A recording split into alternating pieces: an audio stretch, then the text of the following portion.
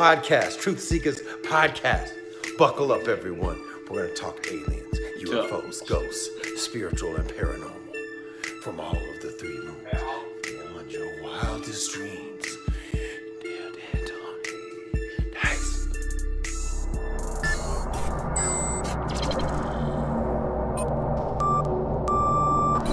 TruthSeekah and or its affiliates are not responsible for any strange phenomena that may occur during or after listening to this podcast, which may include the following: heightened senses of awareness, psychic abilities, UFO sightings, alien contact, time loss, out-of-body experiences, ringing in the ears, ESP, lucid dreaming, increased synchronicities, astral projection, telepathy, stronger intuition, levitation, miraculous healings, and or remote viewing.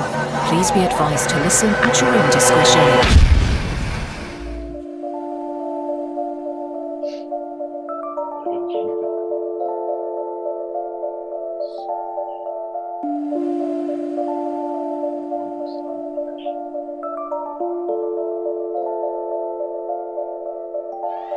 You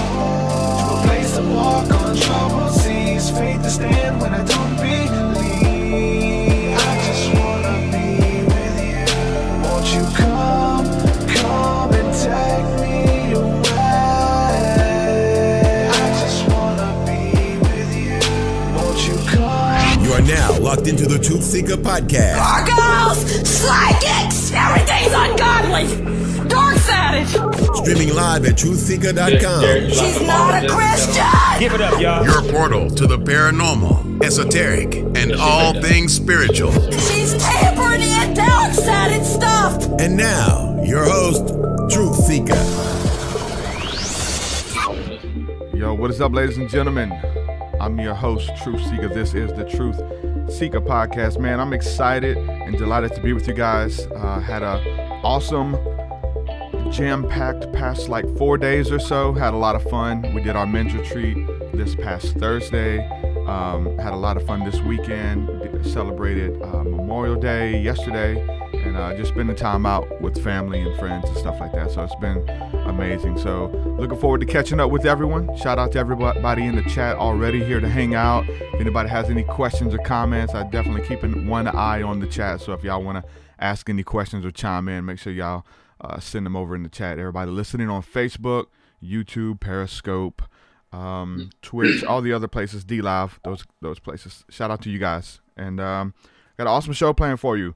Want to say a huge thank you to everybody who has um, got a copy of the book. Spirit Realm, it is here. It is still doing well. Thank you guys for the support with that. If you haven't had a chance to check out my book, go to um, and you can get a copy there. Amazon, Walmart.com, wherever you can find a copy available. Just go to truthseekah.com and check it out. Also, huge thank you to everybody who is uh, supporting my work and supporting this show, my music, everything that I bring to the table with my ministry uh, via Patreon. So, all the partners that we have out there across the world, man, thank you guys for believing in the work and uh, and showing up, man. You guys are co-creators. I really do believe that you share in the harvest and you make this possible. So, thank you guys from the bottom of my heart. Um, some of the latest patrons within the last week or so, shout out to Lynn Hall. Thank you, my friend. Uh, the Feathered Serpent, shout out to you. And Lynn Graves, thank you guys for believing in the work. Uh, if you want to support, go to patreon.com backslash truthseekah. There you get access to my entire discography of music, which is 200 plus songs.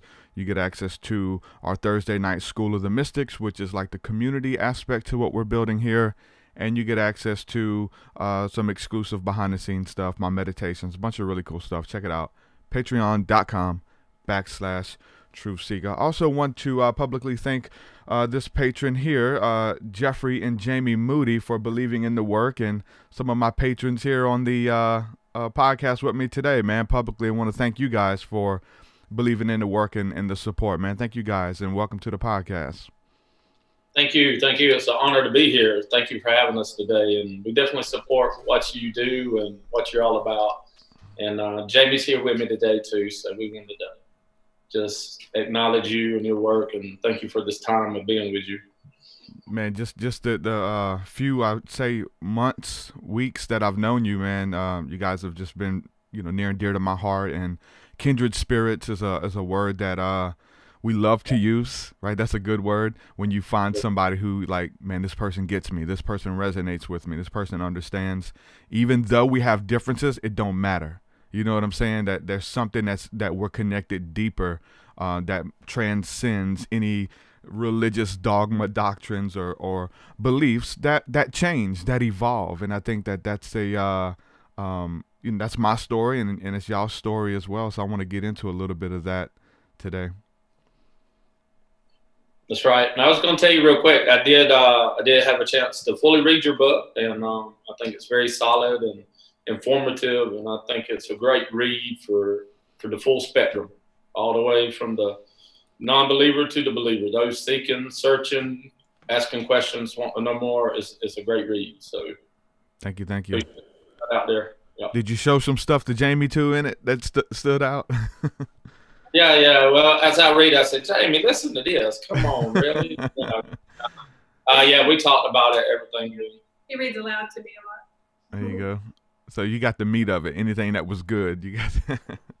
cool, cool. Well, it's always good when you uh, when you got when you share the same platforms, the same beliefs, um, it, some of the same experiences. It, it means a lot, you know, when we can do this journey together and also to to read about where you've been. So yeah, Jamie, you remember those days, uh, you know, all that. So it's it's just real good, real good. Yeah, so um, I like doing this, and I hope this doesn't sound creepy, but I go to Facebook pages, especially with people who are conscious, people who like have grown out dreadlocks, and they're just like in the culture, whether they're festival going people or emo or gothic people. You can go to their Facebook page, and if you click backward on their profile pictures, a lot of times if they've been on social media for a while, it'll show you their transformation. So you can see pictures of them seven years ago, six years ago, where they were, what they looked like. And so you start seeing people grow out their dreads and start tattooing their whole body. You know, you just see the transformation. And so I have gone to your page, got to meet you. And then so I go back on some of your pictures and I'm scrolling through, getting a kind of snoop on you guys. And there's been a transformation. Uh, spiritually for sure, physically for sure as well too. You look a lot different than you did. Uh, I don't know how many years ago it was, but there's been a, a, a spiritual and a physical transformation, and uh, maybe that has something to do with the health coaching side of your ministry that you bring to the table. What what's happened um, with you becoming conscious in it not only being an internal but a very external experience as well? Yeah, and I'll let Jamie uh, expound on that to start off with. I want to say, as far as health coaching and life coaching, that's only a product of what actually happened internally. So um, let Jamie reflect real quick because there has been a, a, a, an experience, there has been a transformation, and Jamie's walked through it side by side, never left me, always with me. Uh, being married over 20 years, you, you just know you can imagine the journey, right? So um, with that, I'll ask Jamie to speak a little bit about that.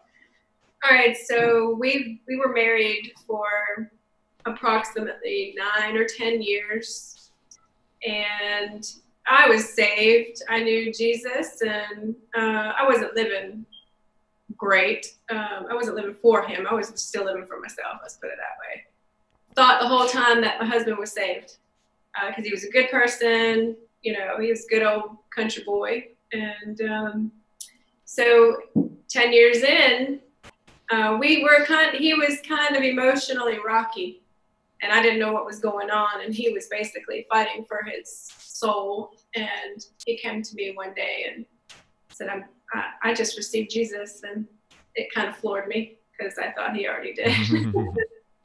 uh, so that is where it kind of started from there. Uh, obviously, he was uh, a new creation, and it, he was the example of being a totally new creature in Christ because um, he was one way, and when he got born again, he was completely different. He saw things differently. He was a different husband. He was a different father.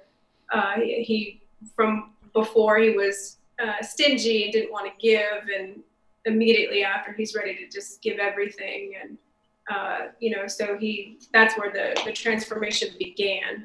Uh, as he progressed spiritually, he started realizing, you know, um, this is my temple, and, and I haven't been taking care of it physically, uh, mentally, or spiritually this whole time. And, and so the three part being kind of came into one for him then, and it transformed our whole entire life uh, from the way we did life, what we said, what we did, what we ate, uh, everything, you know. So, um, I'll let you pick it up from there. let, let me let me well let me ask you what's, what's the what's the difference there as far as this changing of be, getting saved or whatever. So like, there's a bunch of people who claim to be saved and nothing really changes. Like what like when it really takes root of what a real transformation is and this quote unquote saved stuff what, what like what happened inwardly with you what what was like what got saved you know what i'm saying and, and let me let me just let me speak on that just for a moment. We down here in the bible belt you're raised with a certain vernacular or a certain technology a way of saying certain things to describe. So uh, down here we say being saved Yeah. uh sometimes sometimes you will hear born again yeah. uh, born from above, um, spiritually awakened, um, or my conscious awakening. walking with the lord. So that boy's walking with the lord Yeah, yeah. So when you have an encounter with Jesus Christ, um, and that's not, and, and when I say that, um, that's what happened to me a little over 10 years ago. Already married 10 years, two children. I had every external security that you can name, you know, from retirement. I worked a government job. Jamie was in the public school system teaching. We had health insurance. I had the gold, the silver, the guns, the lands, the boats, you name it whatever I thought I needed to secure me, I had it, but I didn't have any security. I didn't have peace. And that's the emotional turmoil that Jamie was referring to right before I got saved, right before I surrendered, uh, right before my, I was awakened spiritually to the reality, to the, to the, to the realness of Jesus Christ. So, um, and when experiencing Christ, automatically the peace comes. Um, and again, I was in an emotional, troubled state because I didn't have peace, even though I had all everything that the world could offer. Had two children. I just knew I wasn't good enough. I knew I wasn't prepared enough. There was just a inner working in me that says I'm not enough. I know I can't be the husband, be the father, be the boss, be this, be that. Um, I just I felt very inadequate, and and it, it really put a lot of pressure on me. And I just remember July twelfth, two thousand nine. Um, it, it was a morning, and I was like, God, whatever you are, God, whatever this is, God. And I, I, I had no concept of what God was back then, other than something bigger than me. Because for once in my life, I was bigger than me. I, I always supplied. I always made this happen. It was me, me, me, that ego. Very, very ego dominated back then. And I had to literally surrender my, my will, myself, to even pray to something higher, but to actually believe he would come to pass or something would happen. Uh, that's the day that it changed my life. I said, God, whatever this Jesus is, and I grew up in the Bible Belt. We we talked a little bit about that. I, I heard enough about Jesus. Never did. I always knew him, but that day I started to believe in him, and that was the day that the shift came. Many people know Jesus. Many, many. I I have many um, from Hindu, Buddhist. I have a lot of friends. Have a lot of family that know Jesus, and those that would say that they're born again, uh, they are saved. You know, the way we call it spiritually awakened, it was the day that they actually started to believe in him and the things he really had to say. So that that to me that was uh, the shift, that was the awakening, that was the uh, regeneration of the Holy Spirit, or the Holy Spirit actually came inside of me. He did a work in my spirit. My spirit was spiritually dead, my mind was very dead, dull. Just you know, I could only think as high as me on a humanistic level. But that day when I got born again, the Spirit realm opened up to me, filled with the Holy Spirit, and you know all the signs that follow those that believe. Right off the bat, um, man, I was like 100% God. You know, I was it was JC all the way, and yeah. I mean, I was going to church. Even though I went to church before, it was under obligation for my mama's sake. You know, I was a good old boy, like she said. But I was only going through the motions, man. I didn't want to be there. I'd rather be at home. I'd rather be hunting. I'd rather be fishing. I'd rather be doing anything else than listening to some hypocrite at the time that didn't know what he's talking about. And I end up usually feeling worse going to a place like that than better. So, of course, uh, whenever I had this encounter with, with Jesus, I was like, man, let me go to church let me let me do something. These people believe in Jesus too. Let me and that take took me on a journey, me and Jamie, from the yeah from depths of religion. Uh, I say the depths of religion. You know, the primitive Baptist is where I come out of. Yeah, so, so I'm I'm guessing Jamie already being saved, and then you getting born again, like um, getting in the scriptures more, praying more, like you know that yeah, was kind of yeah. like you know what I'm saying had to re re um vitalize your faith, right, and take you deeper because you're spending more time in the Word together. You're really believing God is real and ever present in your life and wants to hang out with you and wants to communicate with you. And so, I guess naturally, you guys just kind of started to go deeper into your faith walk when this happened, right? Both of you guys together. Yeah, absolutely. Yeah, and that was so precious because you know the woman she sanctified the household, so she, thank God for her being already in Christ because when we got married, I wasn't in Christ and she was, but she just thought I was. We yeah. never really had a real conversation, or um, that just wasn't even on the table. That's how far asleep I was. Yeah. But now it's like everyday life. It's like it's all about Jesus. You know what? What's Jesus say on this? And you know what's the word say? And so everything. But yeah. Um, that that was a, a, a great awakening experience. That, I'm, that I'm, really... I'm, assuming that, um, like a lot of people, um, anything that you do, you do above and beyond. You, if you got a job to do, you're gonna make sure it gets done, and you're gonna you're gonna go above and beyond, and make sure that that job is finished and everybody's happy. Uh, maybe it, maybe there's some people pleasing in it, maybe some somewhere that you got to deal with, but you just go above and beyond. And so there's a lot of people where anything that they do when they're doing drugs, listen, they're gonna do drugs above and beyond, better than anybody they know. When they, you know, are working, when they whatever they got going on, when it comes to their faith, religion, they're gonna go above and beyond. I'm not going. I'm gonna commit to it, and this is my life, and so I'm gonna go above and beyond with it. So. With that, you know, a lot of people you get called a zealot. I mean, you're you're happy, you're changed. You're like this is new to you. You burn a lot of bridges i feel like like early on right? Because there's no like it's all new. Nobody's really teaching us how this thing is supposed to look and how we you know maintain a job and how we maintain how do we talk to regular people you know? Because we just want to tell everybody about jesus and this beautiful work that's happened to our lives and stuff like that. And so people say that you know i don't know if they, they might call you a zealot or just say that you just become religious or whatever and you're just happy. You're happy to be alive. You're happy to really be living for the first time. But in the in the wake of that, we we do burn a lot of bridges early on, and people I gotta stay away from him. He's he's going he takes it too far. Those kind of things. Did you experience that because you just really believed God at His word and thought that it was real for you? Like what happened with like relationships around you as you just begin to to dive into this thing?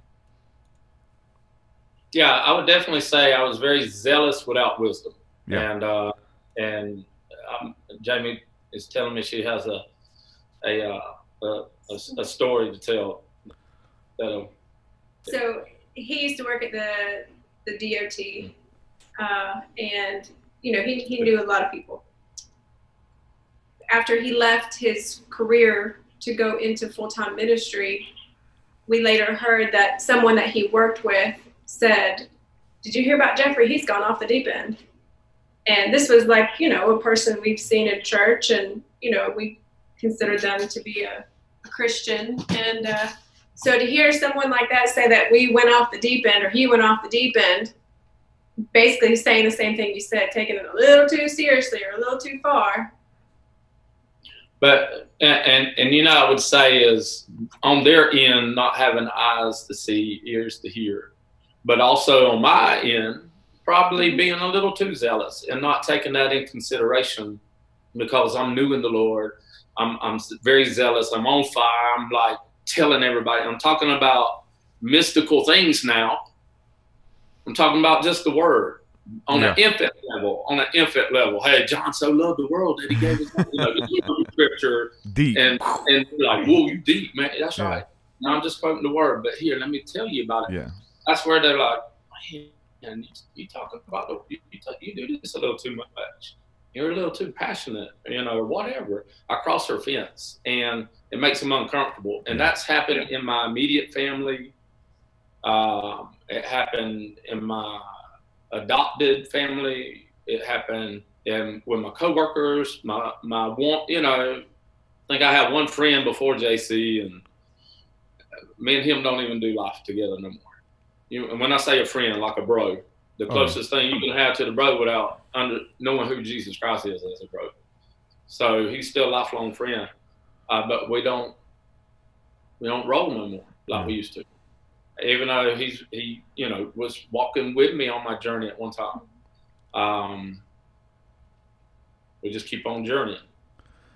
Now, So- in in in that process, right, of just kind of you know coming out gung ho and just believing God at His word, it ain't you know. In, I know in in your mind and in my mind, there's nothing like above and beyond. It's just like, hey, this is real. It's for me today, and God wants to send me out into the world. He still loves people. He still heals. He still walks on water. He's still able to provide and show up in my life, and so it becomes this you know, in, inclusive song and dance with the creator who wants to speak to you and through you. And so believe in that. And uh, obviously, not everyone believes it. So then there's this, you know, dealing with religious people or people who are comfortable in your faith. God has a way of making us uncomfortable, stepping out of the boat, you know, and, and, and, and making sure that we walk by faith.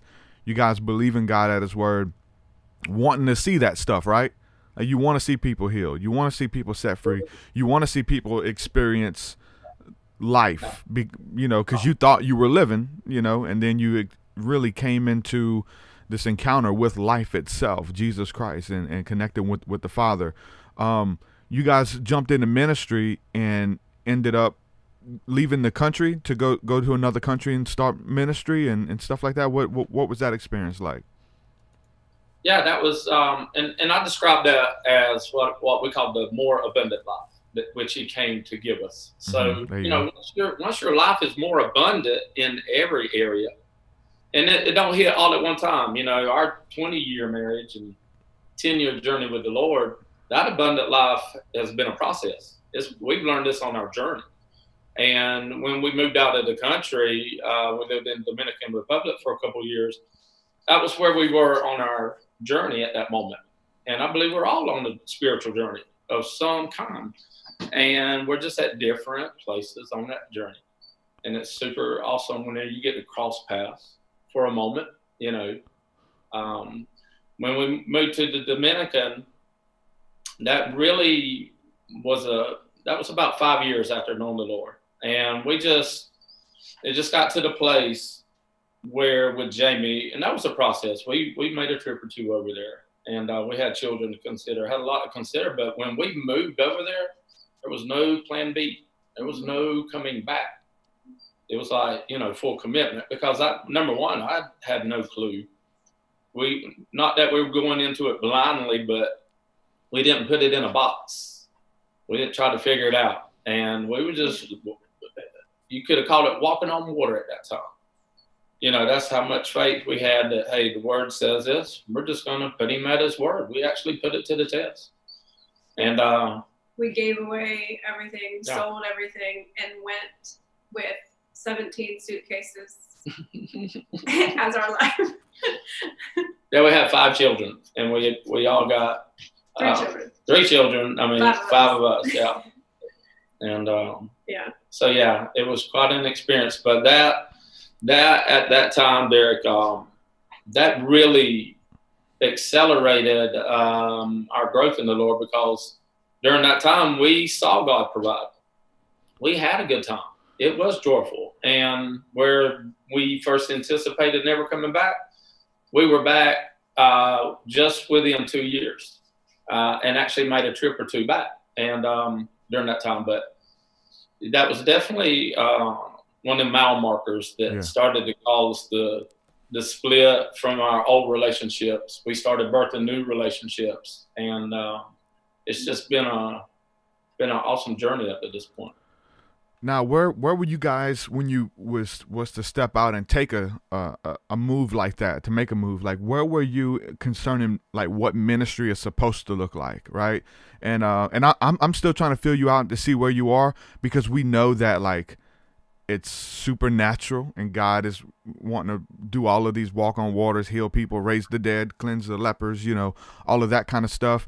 Um, early on, you're still like, man, we're gonna we're gonna go hang out with dead people and raise the dead. Was that your mind, like going into ministry over there? We're gonna go, we were gonna go find a, a village of lepers over here and cleanse them all. Was it like that grandiose and far out, or was it more practical? We're just gonna go love on people like as far as your faith level because like for uh, you know being a baby christian and just believing that it's all real we're looking we're looking to go to funerals and start praying for dead people like that's just what we were doing and then it takes a while till we go to funerals and pray for dead people and nothing happens and then we're like man what is what's going on you know what i'm saying so there's this weird like just gung-ho uh, was you guys still gung ho? Are you still gung ho? Because I know you really do still believe in the supernatural. I do too. But like, where were you with this type of ministry? Was it practical, or was it more just be- like longing for the supernatural to take place in your lives, or was it a mixture? Definitely a mixture.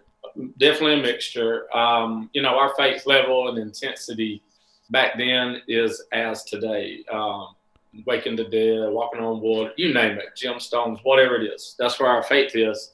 Um, today, we we tend to walk in more wisdom, like the practical side of it. Back then, just mere thought of Yeah. you know things that were available in the spirit that was enough to excite you, as it should be Yeah. and still is today. Um, but there's a practical side to it. You know, I, I tell people this, you know, as often as I talk to them, what good is it to uh, be able to believe to raise the dead and heal the sick and do all that, but you can't believe God just to pay your rent Yeah. or just to provide you a car or whatever the big thing is at the moment. So that's one thing we came to grips with ourselves. If God, if I can't believe you to supply my own needs, how am I going to help supply the needs of others? and without knowing what we were doing, we put ourselves in a position to basically have to have faith and really, really trust God for everything. Uh, when we got over there, we had a couple that we had uh, formed a relationship with that helped us tremendously. Uh, but we were basically just relying on God for everything. And I think that was the biggest part of the reason why we went there. Um, because we were in that faith, we were building our Yeah, faith yeah. then. We were Yeah. living by faith, and we thought we were living by faith until we got to the Dominican. But but mainly to to to, to really answer that, um, we we took God out the box, but we put ourselves into one, and man, that was pressure, and um, that's that's it's like it pushed us through. We had to help ourselves push ourselves through. Yeah.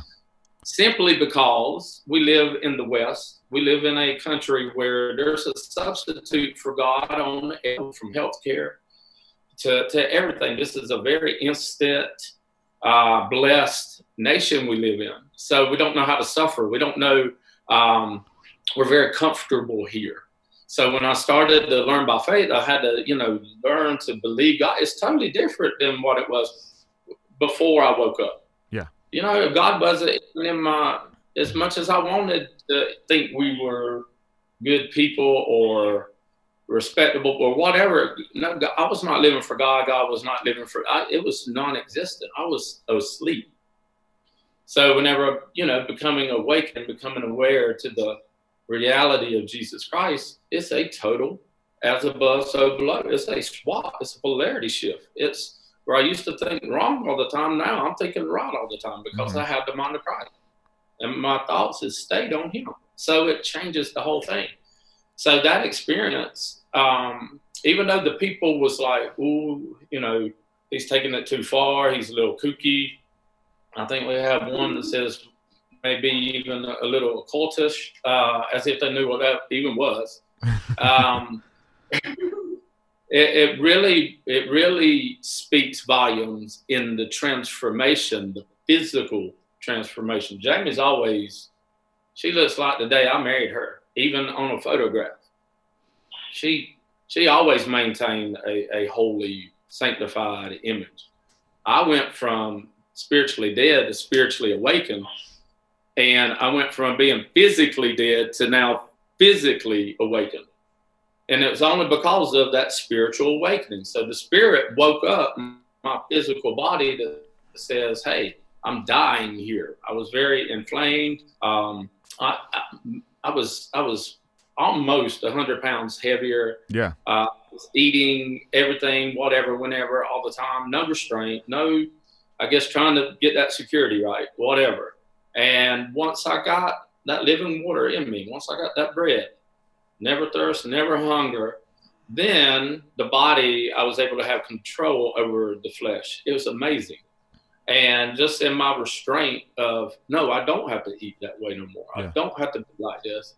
And he does sustain me. So I found him to be nourishment, found him to be energy. I found him to be everything that the physical body should ever need. And um, I just give thanks to Kirby De Lanerolle and Fiona because they really, the transformative grace that they present, and we consider them pastors over our life, they really live that lifestyle. They prove it.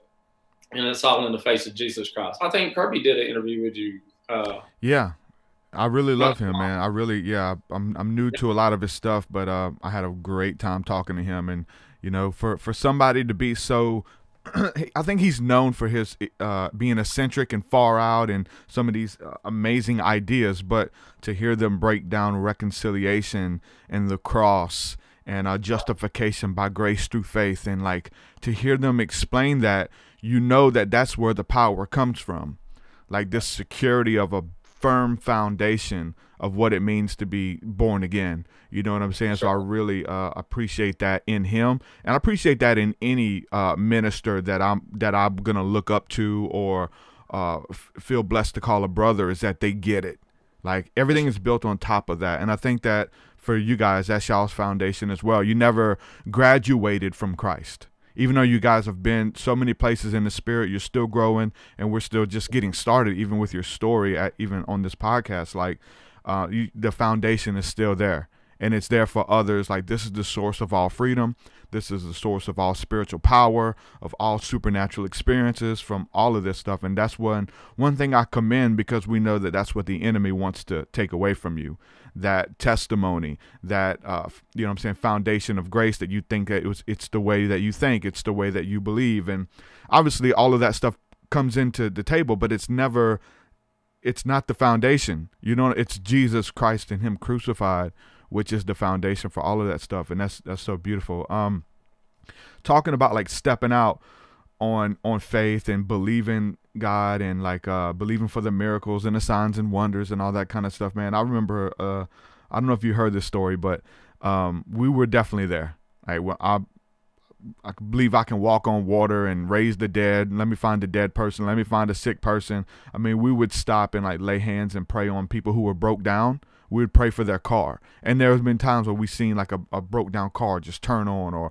broken machinery and washing machines. And we just, we just, believed, bro. Like, in, and our, and our faith made it possible. And so, I remember, um, even though that's way far out there, like it again, what you said, having a zeal without all the knowledge, you know, because uh, there was a, a, friend of mine. We were getting ready to head to church, and this was back in 2000, right after we got born again, and uh, 2000 2001, and uh, he jumped on the back of our car, and I like floored it and spun out, and it and I flung him off the car on accident, and um, it like threw his shoulder out of socket, and he was all scraped up. I mean, we were headed to church, and we we were madly in love with Jesus. We loved worship. We were addicted to it, still are.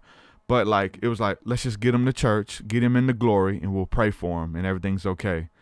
And so we go to church and we're just up there worshiping like nothing's going on. The guy's shoulders knocked out of socket. and uh, some one of the ladies came up to me and said, Derek, I think y'all need to take him to the hospital, man. He's he needs to go see a doctor. Just pray for him, man. He'll be okay. Just pray for him. You know, and they pray for him and nothing happens. But someone's like, I'm gonna take him to a and I think I let somebody else take him to the hospital. You know what I'm saying? While I stayed in the glory and worshiping. You know what I'm saying? With it's like there's a disconnect there of where it's so far in the spirit realm that you're like no you're like not any earthly good because you're so spiritually minded. Like the right thing to do wisdom would have been to take him to get him checked out but faith would say no let's take him to the glory and let the glory of the lord snap his shoulder back in place. You know what did you guys have any?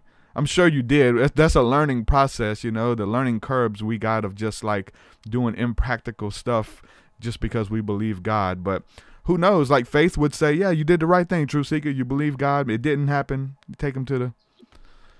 Go ahead. Damien's got a classic one here. Uh, thank you for sharing that story. That's awesome because yeah, we we this is early day stuff here. This Mm-hmm. is like Er- early before on, I knew where John three sixteen was in the Bible. I'm just we got into Jeffrey just he would read the scripture and, and take it so literal that he's like, okay, this we're gonna just do this from now on. And so this, you know, this faith thing, just having this, this faith, we put it to the test, I guess you could say, on everything. Yeah. not not in a is this real or not? Yeah. But we were like, We're like, we okay, were well, proving this it. is it. We're gonna do it. So Yeah. so we did it with everything. And um, our second child was born um, allergic to highly, highly, highly allergic to eggs and peanuts. And so, you know, we did everything to keep him away from all of that because he would have a major allergic reaction. And that was before JC for me. Yeah, we had an EpiPen, everything. Yeah, I was ready with the pen, bro. After Yeah. JC, Make sure the note goes to the school. Do not feed Yeah. peanut butter. I was very fearful for my mm-hmm. son's life. Yeah. Before JC. So with this faith, he's like, all right, we're gonna we're gonna do this. We're gonna pray. We're gonna lay hands on him and and just believe and pray that he's healed of that allergy. And we pray. We laid hands on him. He's like, all right, get this boy a spoonful of peanut butter. now he can before this he could not even be around peanut butter. Like even the smell of it, he he would start itching his face. He still don't like the smell today, but he can Yeah. eat. So we gave him a spoonful of peanut butter, and uh, he ate that peanut butter and did not have a single reaction. We boiled eggs. We gave him scrambled eggs. We did eggs up all kinds of different ways, and and uh, and he's never and he still eats eggs to this day, like every day. Uh, and and and again, it could. A lot of people were thinking like, oh, that's like really extreme. Like that's crazy. You're gonna stick a spoonful of peanut butter in your son's mouth when he, you know, could Very die dangerous. from that uh, and, and praise God that that He sustained us through that, as far as like showing that it- it's real. Praise You know, God that my zeal without wisdom didn't kill that boy. right? Because not only was maybe at the time I was believing for him to be healed, because by stripes we're healed, and I'm basing all my faith off that. Well, if he did have a severe allergic reaction and he did die, was my faith developed then in raising the dead too? So, you know, thank God his grace just really protects us. Uh, he watches over us uh, every moment of the journey. Um, but yeah, and we still believe that way today that, that the blood of Jesus breaks off these curses. Uh, you know, something that God put in the earth, such as a peanut, should not make me sick. It should not kill me or put me in a position. Because if everything He created is good and very good, Well, I, you know, this kind of comes to a conversation me and you had over the weekend, Thursday, Wednesday Yeah. night about THC and marijuana, and how I have a allergic reaction to it now. You know, and- and you and I, I know where your mind went. You're like, do you want to be healed from that reaction? you know, because God made it and it's good and, and and all that kind of stuff. And I was like. No, just because like the pain and going through that is like, man, I'd rather die than have to go through that. Like just in case, maybe that's that doubt that creeps in, and I'll never get to do it. But I'm okay with that. You know what I'm saying? I'm okay with it. But I see like believing God for the impossible, and but it's testimonies obviously the Bible is a freaking huge. It's the testimony of Jesus Christ. You know, so reading those stories in the Bible and then hearing ministers, and you mentioned, um, what's his name? Uh, Andrew Wommack is a was a huge influence for you. You went to, uh, you got certified or, or went through to the school or something like that through Andrew Wommack, who has stories about. He don't he have a story about going to his son's funeral? Like they were at the funeral home or something, or something crazy, and laid hands on his kid and raised his own kid from the dead. Like crazy. Yeah. You hear these stories, and it just like you want a, a faith like that. You want to be able to do that. You read it in the Bible. Now you hear about people actually doing it, you know, on the earth. So what what would stories like that do for your faith and still do? it, it propelled us a lot because we we also have another story um, i don't know if you guys want me to share about our supernatural childbirth with our daughter and not only was it a testament for other people my doctor included but it, it did it, it did propel us and you know not that you didn't have assurance because you can go into it believing um, but it just it it would propel us and make you think okay i can go higher and higher with this and Yeah, there- believe for bigger and bigger just no limit, no limit in the spirit because uh, if you can do it, I can do it. And Jesus said that basically. He said, "Greater works will you do." So now with with that with that, did you ever plateau out? Did you ever like believe so much and then maybe stuff wasn't happening and then like, hold on, we need to because there, there there has to be a transition right of where the practical stuff comes in. Like where did the practical side come in? For me I, I think i plateaued out of like wanting benny hinn to pray for me to receive the anointing and then having people who go through the jungles of india and command snakes to bow down and stuff like that and have them pray for me and just going to all these meetings in the prophetic realms and stuff and then like you know for me I, I it was like a plateau out. All the prophetic books and stuff until eventually it's like god had shifted gears for me. Did y'all have a plateau out or like something that happened or can you pinpoint w- where the shift took place? I would say many, many plateaus, and I would say the shift always takes place when I quit going to man or quit going to an external source to to satisfy that internal need. mm-hmm And and when I quit, because I had in our days, hey, brother so and so's got lay hands on us, yeah or or I got to have this prayer before. Yeah. I had to have the man of God always. Yep. But the day that I started saying, I'm going to come to you, Jesus, then I'll go to the man and talk about these experiences or whatever. Um, it's always when you I quit um, preaching somebody else's revelation and get my own there you go I say it like that. So we use the term be still a lot and Mhm. it and it is in in his example of you know going to to man instead of being still listening to god for ourselves. It, it is also of of uh, knowing god's timing. Uh, you know when you pray for something and don't see any results you know a lot of people could get discouraged. And a few times we had t- moments where we were just like oh okay you know, what's going on here? What are we doing wrong? You know da, da, da, da. And then we just once we let go and say okay we're just going to be still that way we could it just that's it just, right. boom it No. happens and and you know you're just like okay well it's god god's timing you just got to rely on that and know that it don't happen right away it's and it's lack of understanding, I believe, on our part when we mm-hmm. say God's timing. You know, it, it, it's it's it's just a as- it's an absentee moment of thought that God does not hold us, keep us, sustain us. That He's our very life. It's just that carnal, humanistic, doubtful moment. And whether you are uh, praying for your own car to be healed in Jesus' name, crank, crank, crank, you know, wake up, roll, when to go up, when to go. I was using it yesterday, Derek. You know, the window gets stuck i bind that demon that was sent to break my truck down and it's halfway down, and I'm like, and you, it's an electronic window, not old school like I'm used to. yeah Uh, it won't go up. yeah. And I'm like, go up, and gee, all the rain's coming in right there on Jamie's seat. I was like, man, I want Jamie to have to sit. This is crazy. Rise in Jesus' name. You know, so I'm still, we're still speaking to things and believing God for stuff and asking when the window don't go up, what do I need to learn from that? I mean, heck, I think it's a good place to start. You know, and if it don't go oh, up, then you then you fix it. Then you fix it. At least start there. You know what I'm saying? You, and, and can't nobody fault you for that.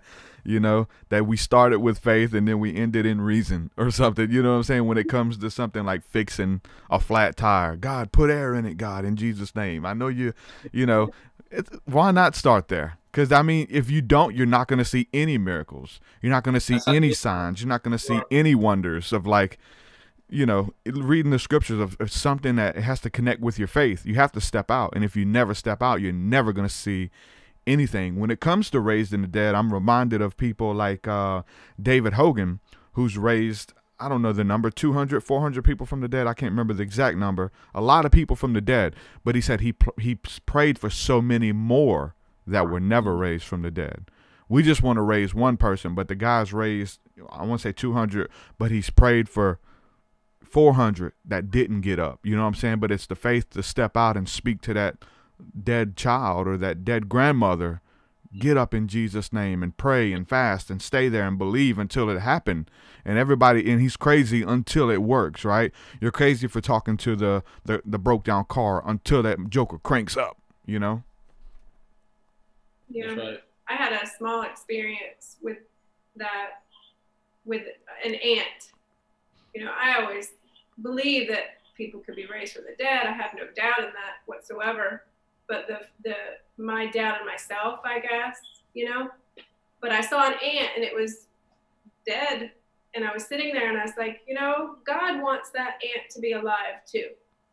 And that's all it took. And that ant started getting up and walking off. And I know it was dead because it was dead, dead. Mm-hmm. it was no getting up from there. And I, I didn't have to pray over it. I didn't have to, I didn't have to do any crazy thing. I just knew God wants that ant alive as well. And that ant got up and started walking again. And I was just like, wow, okay. Yeah, I can totally do this. Well, that was one thing about the men's retreat. We was walking through the woods and we couldn't walk past a dead animal or a dead insect without Jeffrey picking it up and speaking life into it and blowing into it and trying to raise it back from the dead. Um, and I tell you what, like for me, you know, we know I talk about the shift and and uh, with with something happening with the pra- practical. I think for me that was a a big thing for me years ago. Um, we got into the prophetic and we sat under some people who did home meetings and taught us how to prophesy and man, we just beautiful encounters in the spirit all of this stuff at their home meeting. They actually married me and my wife, and um, we really looked up to these people because we were in church, but this was like these people really loved us and took time with us and discipled us and had home meetings and taught us the prophetic.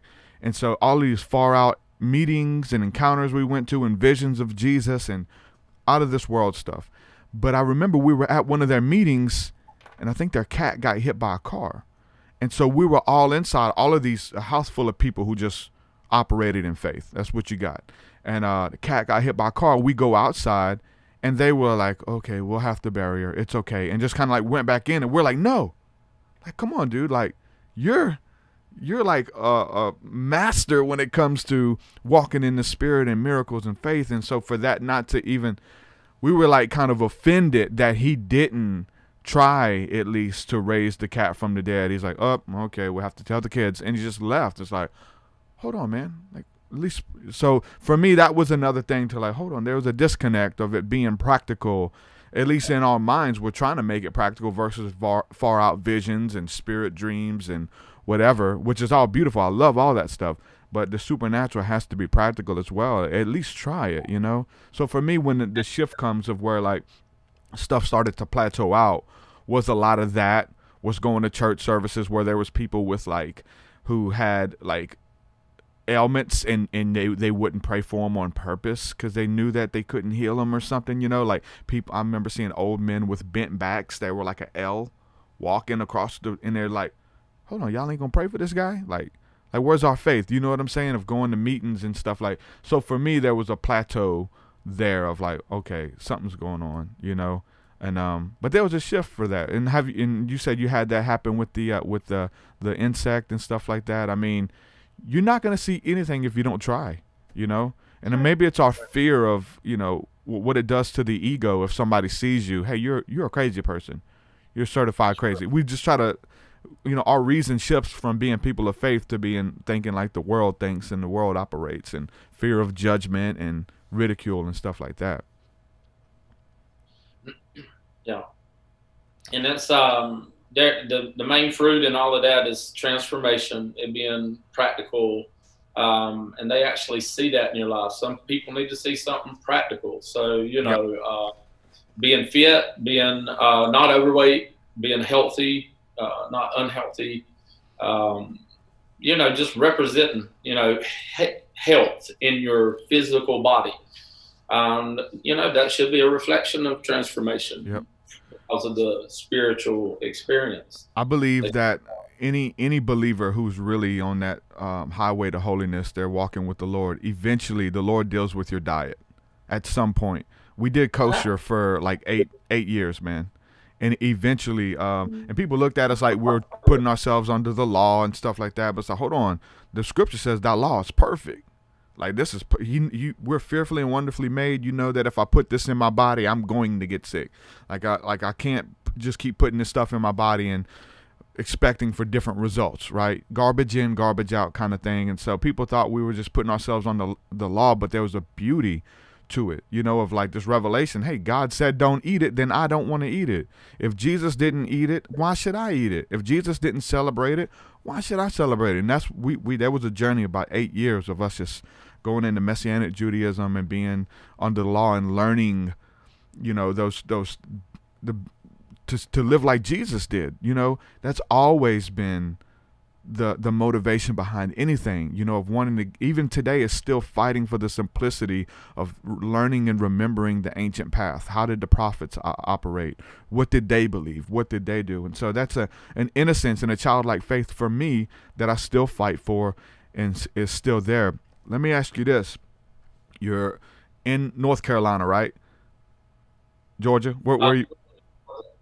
Where is? Where are you? Georgia. Georgia. I keep saying Georgia. For some reason I keep thinking North. You from North Carolina though, right? No, no, no, no, North Carolina at all. The Lord's preparing a way in. No, I'm joking. Uh, um, so let's uh let, let let's transition a little bit too because like okay either way, you're in the Bible Belt, and uh, and and yeah. you know, Jesus, you know, he's uh, he's not the, the Jesus we've been growing up with is not very inclusive. You got to be a Christian, you got to learn Scripture, you got to read the Bible, like this kind of a thing. And where did it switch for you guys to become more inclusive, to look into?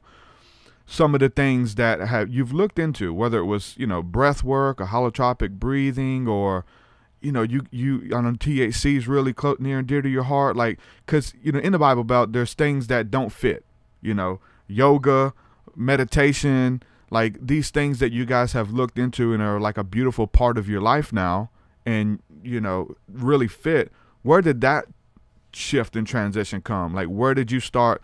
Was it Christian ministers who started speaking about these things? Was it like God revealing his love in such a way that you could see fruit in other people who weren't so-called Christians and but you you know had you seen something that was similar within them like where did that transition take place if it if it was judgmental it would have been unintentionally or unknowingly but probably uh, until I really got a revelation when Paul says it's not wise to compare yourselves among yourselves. Mm-hmm. And when I actually learned that, then um, that's where the shift started happening. Yeah. Um, I mean that's a good way to put it, but then but then what? Do you do you actively look up Kundalini yoga? Do you start watching breath work videos or or was it something that you've seen in other people? For that for me that's what it, that's why I keep saying that. I seen like love in people who weren't Christians. They don't know the Bible, but there was like something like, man, that the pursuit for God, for holiness, for justice is within that guy, and he doesn't know anything about Jesus, or at least Jesus the way that we've been taught. So, just to preface, where we are in a very, very small town, uh, there's really nobody. Which are probably all watching right now. They're really. and this is not an offense, but there's there's nobody that we had as an example of oh these people do this and that I want to kind of see or or hmm. anything like that. I I honestly truly believe that God slowly just started dropping things in our head and in our face, whether there it was maybe some kind of something on Facebook or but I think it was really just things that he said, Hey, I want to check this out. And just being open to it. yeah. Um, again, come from the depths of religion. Uh, I got set free from. I, was, I guess I had a religion, didn't even know it, and I got woke up free from it. And once I learned that, then wow, you know, I'm free. And and being on that free journey allows you to explore and and talk to God about. So whether it's from THC to to mushrooms to incense, oils, crystals, you Yeah. name it. You name it. Just name it. Until you can have a conversation with God about it and be comfortable about, about it. Like, Ask the Father. sit, Oh, like God, I'm doing Kundalini yoga for the first time. Know, am I giving myself over to the enemy, to the devil? Am I uh, going to receive a, a spirit or something? A You get that spirit.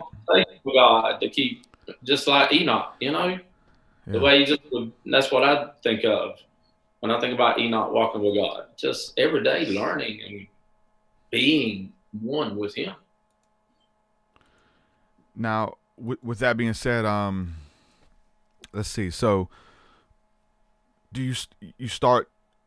Do you do you? Uh, for me, I um I use the Bible as a filter.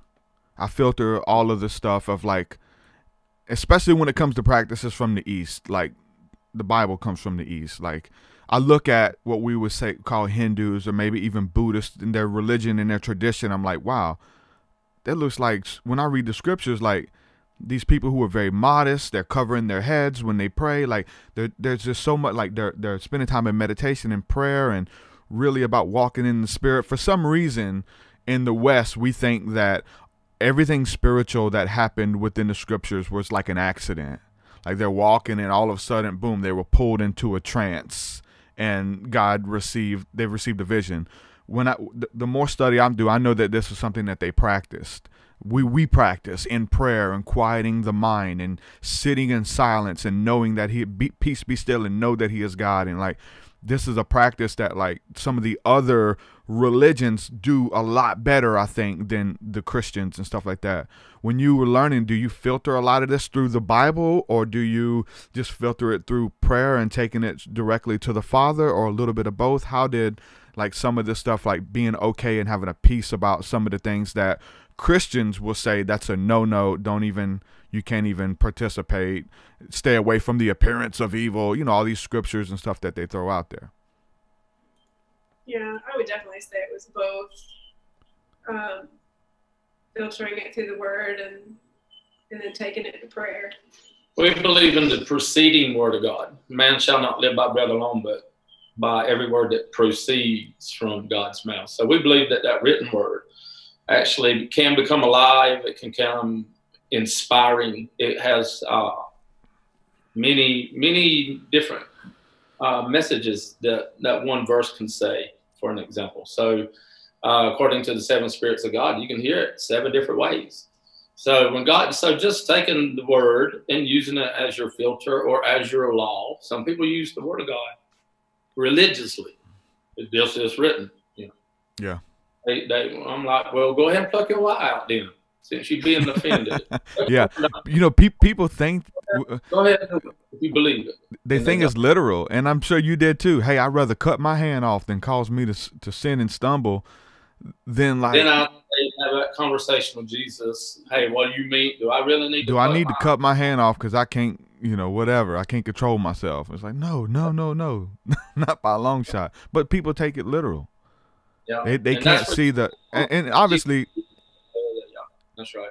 it's an allegory there's symbols and stuff to it and until you can see the deeper things within the scripture you don't know that that's talking about members of your body of the of a group uh, ecclesia a group of people who are bringing sin into the group that you need to get rid of your hand. Like a certain person who's bringing sin in and bringing divisions and stuff and like wow it's yeah, more we have to step back. It's talking about not just me personally but us as a as a body to cut that hand off that member. And so you start like I remember when I first heard that it blew my mind because I've always took those words of Jesus literal and I, we we fall into a lot of crazy dogmas in Christianity when we just take the scriptures literal, especially like Revelations. And I mean, Revelations is obviously like an easy one to mess up on, but a lot of the, the teachings of Jesus and Paul, you know what I'm saying? We just take it literal when there was like, he's given them a deep, timeless, eternal truth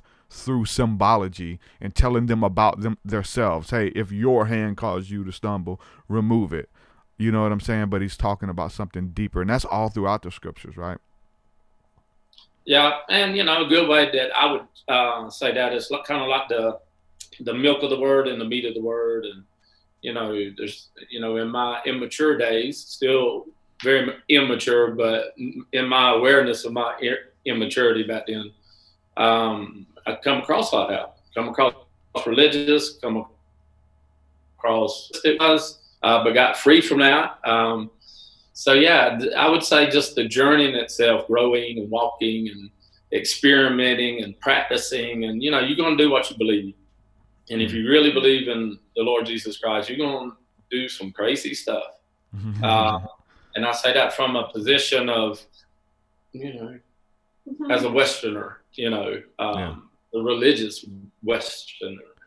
Is it something that, that you just are able to identify the fruit in it, no matter what it is, versus like, because I mean, Jesus, th- that changed it for me. Jesus said, Look, don't judge anything according to the flesh, don't judge anything before its appointed time, but judge all things according to the fruit. Like, we do have a green light to say, yeah. Hey, is there any fruit being uh, here? And if there's fruit, we want to stay there. We need sustenance, and God provides through fruit. We want to hang around places that are fruitful ministries, marriages, friendships, like fruitful endeavors, spiritual practices. Are is there any fruit when I do this? What like how do I treat people after I do Kundalini yoga? Do I feel more connected to the Father? Am I more connected with people? Am I more loving, or am I ill-tempered? Am, am I possessed by a foreign spirit?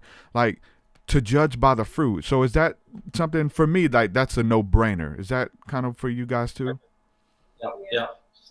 And we we just enjoy that journey. We really explore that now. Um, we just have fun the best we can now. we right? that's big. That's huge. There's distractions going on, but um, you know, we spoke briefly before about the balance.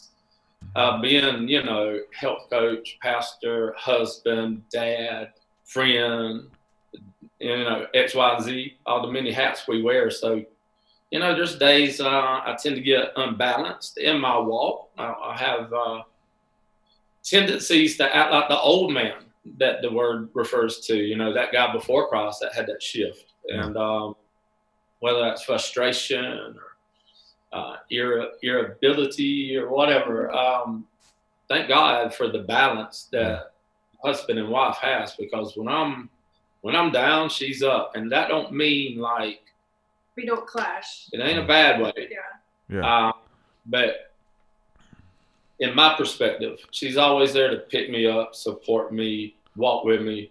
Not that we got any bad days, but we all encounter yeah. depression. We still go through depression and question life and all kind of yeah. It's a we're going through that. You're not and exempt. You, you know, but the journey, man, just being free to journey and uh, an example, breath work. Uh, I know you support breath work. And as a holistic health coach on that side of it, or even as a disciple in Jesus Christ, a believer in Jesus Christ, there's a benefit to breath work. But at the time, you know, I was maybe, hey, this is new to me. What is this? What is breath work? What are the benefits of it? What's the side effects? What's adverse? What's good? What, why should I do it? And I just, we just ran across whatever you substitute breath work for anything. Yeah. And we just explore it. And we had, because of the assurance we have uh, with the Holy Spirit, with, with God's yeah. Spirit that resides in us, that union that we have, we're free and comfortable now, especially with a little bit of wisdom that we try to operate in, we're able to explore yeah. these earthly religions, these earthly practices, this the things they do in the earth, but we also get to explore in the spirit too. So it's just we uh, ascending, tr- transcending, if I can say that right. Transcending. Uh, walking in your sonship, walking as a son, as a manifested son. You know, that's to me, uh, that's the shift. That's the day I got born again. The day we enter into uh, the Lamb's Book of Life, as we we know it. The days our name is recorded Mhm. in Him. That's where we live and have our being. And that day that I was awakened a little over 10 years ago has just simply produced the transformation in my physical health, our marriage, our relationship with our children. Um, life as we know it today has not is nothing more than abundant and more abundant. It's just more abundant life in every area. really life, our phy- physique, our, our physical wellness, mental wellness. Peace. Um, by the way, speaking of a benefit of the breath work, you know, just helping to relieve times of anxiety. Uh, being able, because I'm a, I can be known as an overthinker. May think too much. I might Yeah. get on a certain thought train, and it's got it's affecting my mood and um, got me in a bad position. I might need to go breathe for a few. you got to practice what you preach, man. That's right. So we still still utilize the breath work today. Still we still incorporate it in our daily practice. So and thank God there's a variety of ways, so many diverse ways to do breath work, so many methods and um, we're able to if we can just practice one a day intentionally, Yeah. it really helps uh, maintain the reality in which you want to live in. So breath work, hey, I give it a thumbs up now, you know. I'll Yeah, say, um, I'm watching people like Wim Hof, you know, and yeah. um, even some uh, other breathwork notables out there. It's it, it's a benefit to me, so I tend to share that with others as a health coach, and especially when they talk about their times of anxiety or hmm or other mental states they're in that they don't truly want to be in, but don't really know how to get out of. Yeah. Breathwork really kind of allows him to reset and get a new perspective on whatever has them brought down at the moment. Reset, refresh, and renew. Um, Yeah, be still, right? Well, uh, I think one of the most interesting things that we just you just kind of pass over in this conversation is that stands out to me is the fact that you're conscious of Mm. you're talking about like conscious of not being that man that you used to be those the, the sides of the ego the sides of you that are um, not healthy you know they're they're real but as far as like the balance of like okay I don't I'm conscious that that that person exists, that that side of me exists. Where the majority of people, whether you Christian or not, like they don't even know that there's that. They they kind of fluctuate, you know, throughout those th- th- those personas, if you will, um, and they're not even conscious of it. So, just being conscious that that character flaw, that that uh, side of you exists and is at war, and you don't want to feed it, like that's huge. If that's all you got out of all of this spiritual practice and all of it is like there's a bad side of me that um, there's two wolves within me. There's a, the flesh and the spirit. There's the ego in the spirit. Like that, I need to feed the spirit man so that this other side. I mean, when we look at you know all types of movies and Star Wars. There's the Force, there's the good and bad, there's duality, there's the yin and the yang, and you never want to let the dark side overshadow the light. And I think that BC before Christ, like a lot of us, we weren't aware that there was a war. We weren't wasn't aware that there was a dark side that that wanted to uh to win and, and wanted to uh remain in our members, you know. And so uh just being conscious that that's something that you're aware of is so profound but we just we pass over it like nonchalantly. Oh yeah i just want to make sure that that old man doesn't rise back up because the, the the the unconscious man has no idea. They don't even have that inner dialect with themselves that that's there. Yeah, I like that term, uh, Christ consciousness, and I know that can go on different trails now. Uh, that means a whole lot more than it ever did, probably when it first was termed or coined or whatever, but uh, just having the mind of Christ, man. Um, there's really no better high. It's really no uh, sweeter life. Uh, it is peace, uh, joy. You know, it's it's patience and self control. It's it's it's grace, power. So um, it's all in the transformation, I believe. If I was to judge a tree by the fruit it bears, I was going to use that judgment, a filter, the word, uh, the word of Jesus, as my filter. Um, I think we do judge righteously. I believe that's what righteousness or dikaion is. It's fairness.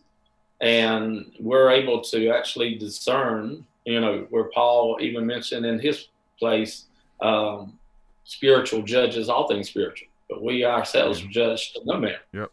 Very spiritual. So just having that that uh, consciousness, that awareness, mindfulness, you know, that's another good word I use in my help coaching uh, side of it when I'm not doing it on the mystic side.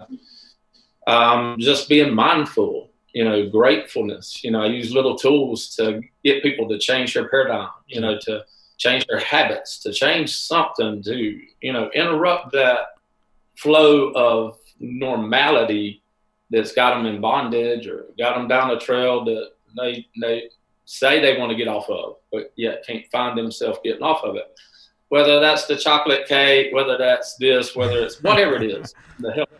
So whenever we start doing these spiritual truths into their physical issues, they start thinking spiritually, and they're like, "Do what?" You know, down here in the South, this is like new age. This is new, te- and it is to them. You know, um, but we're just bringing, you know, the mysteries of the word. We're we're walking as sons in our sonship. Mm-hmm. And um, if we can speak to somebody's thoughts, and if we could calm the wind and stop the waves, the emotions that's going on in their life, if we can speak to the elements and take authority over that and walk as sons in the earth, both physically and in the mental soulish realm, which comes from the spirit, that's nothing but life and life more abundant. It's walking into realities of the spirit. And um, so, yeah, it's such a journey, it's such a life learning process of walking every day, being real, being transparent, having precious, dear people in your life that you can do life with, like to be real and transparent. And um, this is where I can shut up and Jamie really take off. But just being real and doing life for real and being real and being willing to keep the conversation open. Dude, there's some stuff you probably believe that I'd be like, do what? I never heard that before. That's, you know, Yeah, what? You know, Yeah. you know, I might hold up, do say that again. Let me think, you know, don't shut down. That's what Yeah. I've learned. Why do you say that? Teach me, show me. I want to, you know, Yeah. And if I get it, good. If not, good. and, and keep on doing life. yeah. So, Versus uh, cutting them off and say, "Hey, man, stay away from this guy, man." and I'm always making sure, you know, on my side, you know, as iron sharpens iron, and we sharpen one another. I always want to be more on the duller side. I always want to be getting sharpened. Not that I do that intentionally, but I hope to do the same for my brother. Yeah. Uh, and in times of needing sharpening, man, help sharpen me in this area. Help or whatever that sharpening is. Uh, doing life together, and vice versa. So it's a beautiful relationship that we have in the spirit. We get to sharpen each other. We get to help each other, be there for one another, do life with one another. But it's only going to be whenever we come to the unity of oneness, that we're one in Him, and He's in all of us, whether we realize it yet or not. Yeah. When we come to that Christ consciousness, that awareness, uh, I call it sonship. When we become manifested sons in the earth, that's where we are going to experience the greater works, the greater things, the more. And again, we're just a snippet. Uh, I know we ate up a lot of your time today, but we just had this is just a snippet of what we get to do for eternity. For sure. For sure. And it's, think beautiful. on that is meditation enough. You know, Psalms 27, verses 1 through 3. Uh, the Psalms that he, he says it perfect. One, two, three, or four, you know, that first part. The Psalms 27, man, David just talks about the one thing I desire, the one thing I seek is just to behold His beauty, to sit in His temple, and acquire of the Lord. So um, we get to do that. To do, and as we do that, we we we we share that with others, whether we do it health and life coaching, whether we do it ministry, or whether we do it just right here in the house. Mhm. You know, uh, which we do. It's very real here, and to be real with the family in different parts of the country, different parts of the state, um, we get to do that, and it's such a such a blessing. Awesome, man. You guys got a couple more minutes? Sure, sure, a couple more. Um, so you know, your your your spiritual life, it's a uh, it's an overflow, right? And so as you are walking in the spirit, as you're communing with the Lord, as you're hearing from the Lord, it flows out and you get to share with others. I think first of all, because you're conscious, again, that you're doing the inner work, God allows you to speak into the lives of uh, of others. If you, I think, if you ever cease to do that, there's a conviction, there's an imbalance there. So as long as you're keeping that going, it's going to continue to flow through your ministry, through the health coaching and life coaching and things that you bring to the table. And uh, and I know Jamie shares in that with you, and you guys minister together. But something for her, which seems to overflow a bit, is through her art as well. The uh, created for the kingdom art, and she has some really beautiful art that she brings to the table.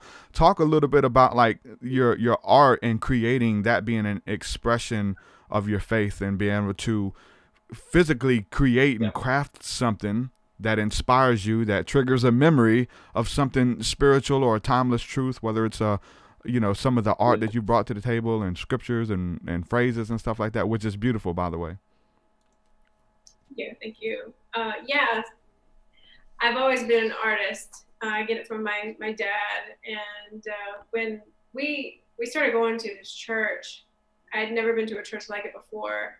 When I sat down, I saw these people painting, and I says, "What?"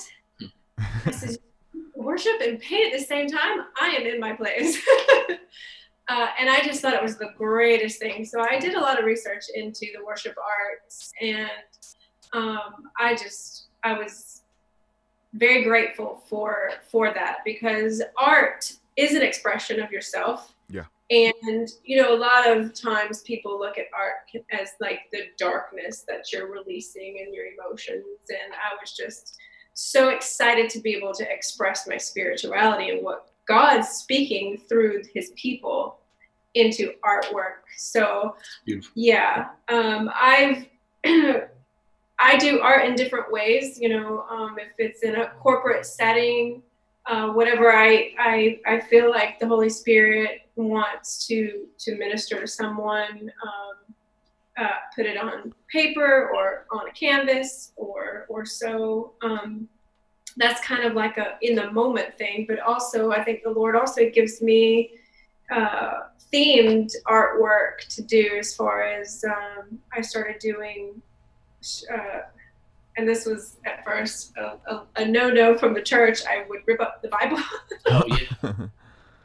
and uh, glue it on a surface, uh, whether it be canvas, cardboard, rocks, uh, all kinds of other things, and and then whatever scripture verse or or word, you know. Uh, And these Bibles, I would just want to denote for all the okay, these were Bibles that were disclaimer uh, old and very poor shape. lost their power It was just okay it was incomplete and very ragged and they were beautifully Um, aged yeah, but that- paper and it, yeah, because it's real old, but just really, really. So before you would do something, um, one would throw it away or burn it or whatever, preserve it, whatever.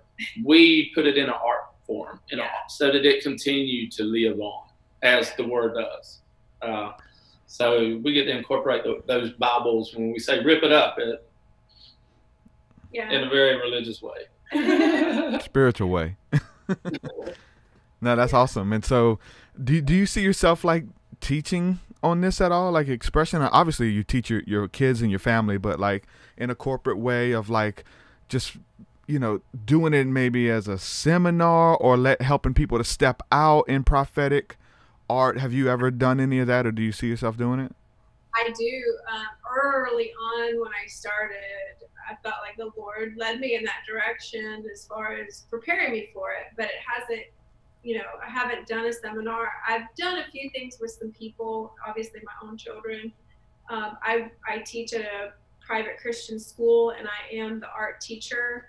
Uh, and this coming up year, that's going to actually be one of my things. It's doing it with music and worship music and uh, really teaching them that aspect of it, which I'm really excited about. As an introduction, maybe it may be something new to them. Oh, Uh, it- hey, it it- just something will small, be. man. That's all it takes. Yeah. A seed, a seed. You Yeah. plant. You planted a seed when they was young. That when now when they get older, they can look back on it. Um, what what church was it that uh that you guys went to where you seen them doing the prophetic art and worship and stuff like that? Was it? A, it was a Morning Star or something? Was somebody affiliated with that kind of stuff? Or Yeah, it was the Mor- um, a affiliated. Morning Star affiliated church, Yeah. and they uh, they operate in the prophetic, and that was the first place that I found on my journey in my small hometown. Um, I caught wind of this crazy bunch, um, but but not like that. But it's Yeah. a little different out there. Ain't nobody could really just and um, they wave flags or they Yeah. do something. So I was like, well, hey, let me go check this out. they dance in the Because, um, spirit. Yeah, you can only go to so much Baptist services and Yeah. prayer meetings and revivals, and you're like, man, you know, where's the gold dust, so to speak. But, um, but because of that, yeah, Yeah, it Yeah. opened us up to a lot. sure did. yeah. I they remember were- um talking about artwork. They were real. Uh, they gave us a, a opportunity to be exposed to something new and operate in it. So Mm-hmm. um, it was right here in our small town. So that That's was awesome. very big. Yeah.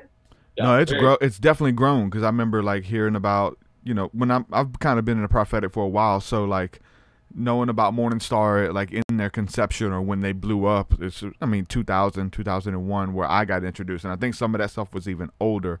But once it got really big, like seeing how it caught on and seeing how other people now we can have this conversation where people are talking about let's draw a prophetic art piece and uh, shout out to uh, I have a, friend watching Amanda Ferris who's really good at. She does this as well and she's doing all these paintings and they're just inspired and they tell a story and it's something prophetically interpreted but um to see that it's awesome and you know going back to the kid thing when I was I remember going to vacation Bible school and they had us like draw a picture of Jesus. You, you they had all these stations like for 30 minutes you'd go here, for 30 minutes you go there, for 30 minutes you go here for like 2 3 hours or whatever.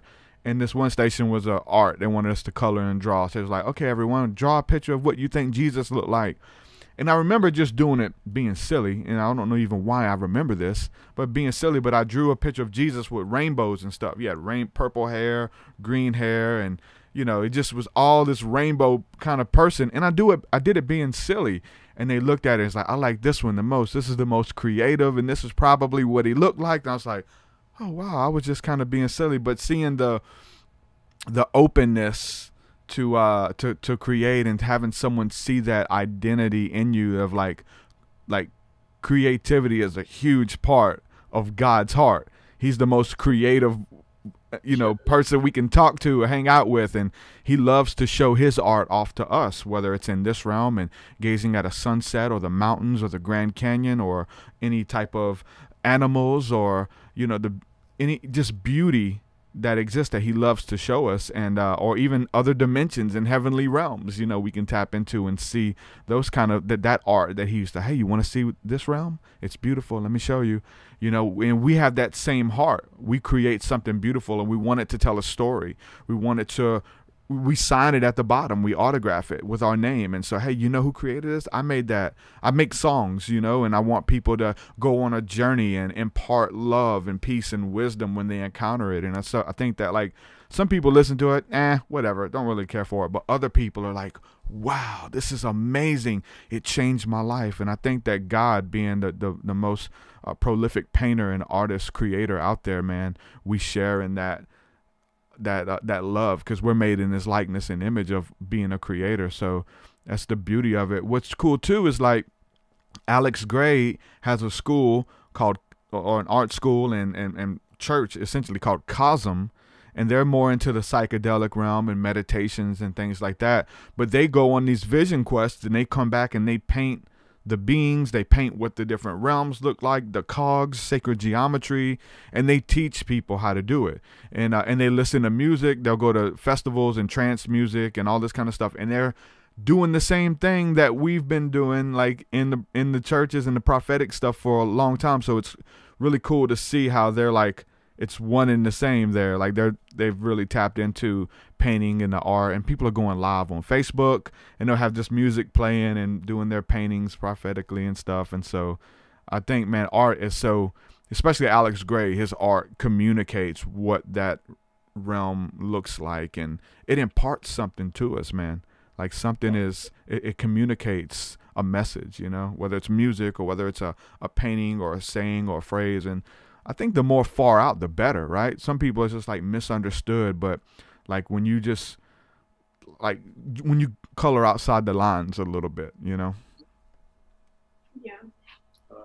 Yeah and and the thing about it is, is god can work creativity in anything um, not just painting, drawing, music, dance. Uh, I've recently, in the last couple of years, started doing macrame, and it was basically just to it, it's tying knots with fabric, and it was really just because I thought it was beautiful and I wanted to try it. And as I I was creating a very large piece, I just said, "All right, Lord," you know, and I just started nodding, and and I wasn't really having any kind of thing in my mind as far as the outcome of what I wanted it to look like.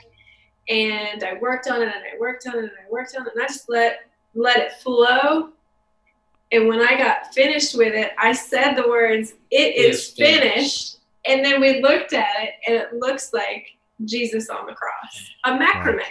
Yeah. And, and it was just like, wow. So among you many other things too. God can use creativity in any form. It's so amazing. It yeah. speaks. So it speaks. So God works through her.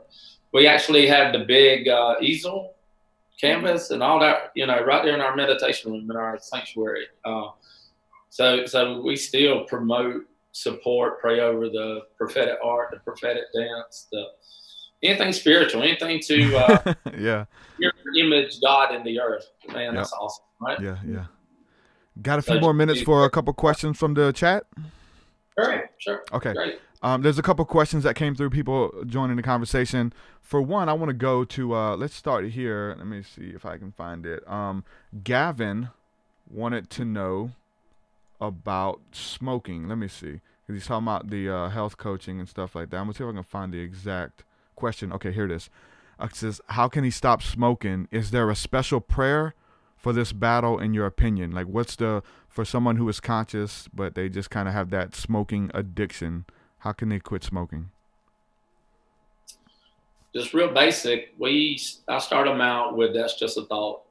It's a uh, the bad habit. If he thinks it's a bad habit for him, um, you tell me to quit smoking. I, I mean, I may smoke once a month he may be smoking 10 times a day. So, you know, just to get on the same page is okay, what are you smoking? How much you smoking? Because I know many people, you take the smoke away from them, it'll kill them. And that's not the goal. So if you want to quit smoking, there's going to be a process to it. There's going to be a little journey. There'll be a learning curve. It'll be something you probably suffer through. If you think you're going to break an addiction and suffer through it, whatever you, the thing is, that's got you from not wanting to break the thing you know you should break, then that's where you know we, we counsel one another. Uh, I show him the other side, the way to think about it, the the Christ way of looking at it, that he suffered through it, and you'll you'll suffer as much as you think you're worthy to suffer, which you you shouldn't suffer that much uh, because he bore that for us. So whatever suffering, addiction, um, that is, so I really bring in a spiritual enlightenment on that.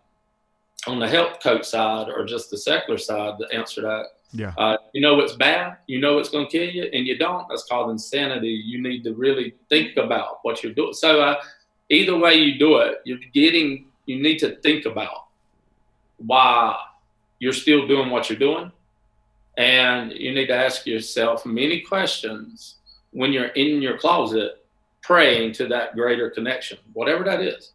Uh, if you believe in God, if Jesus is your mediator, then it's going to be good for you. It's going to be that's where you will learn. That's where the addiction gets broke. It's just by having the reality revealed to you from Jesus that Jesus is the Christ, and He bore that curse, that uh, bad habit, that destructive practice, whatever uh, that thing you want no more of. He made away. And and that it can sound like a very vague answer but when it comes to that kind of question it is very personal personal it varies from person to person uh, there's no answer that works for everybody No so formula. no, you yeah, um, that's so it is well. individualized That's a good way to say it. Yeah. And again, that's uh, initiating that conversation with God, just being real, being real with yourself and being real with yourself in front of God, with God. Yeah. So, uh, like David did, you know, come to God with a true heart and Yeah. truth. Yeah. Yeah, that's good. Um, for me, like I look at any any type of character defect or thing I need to stop doing. Um, Sure.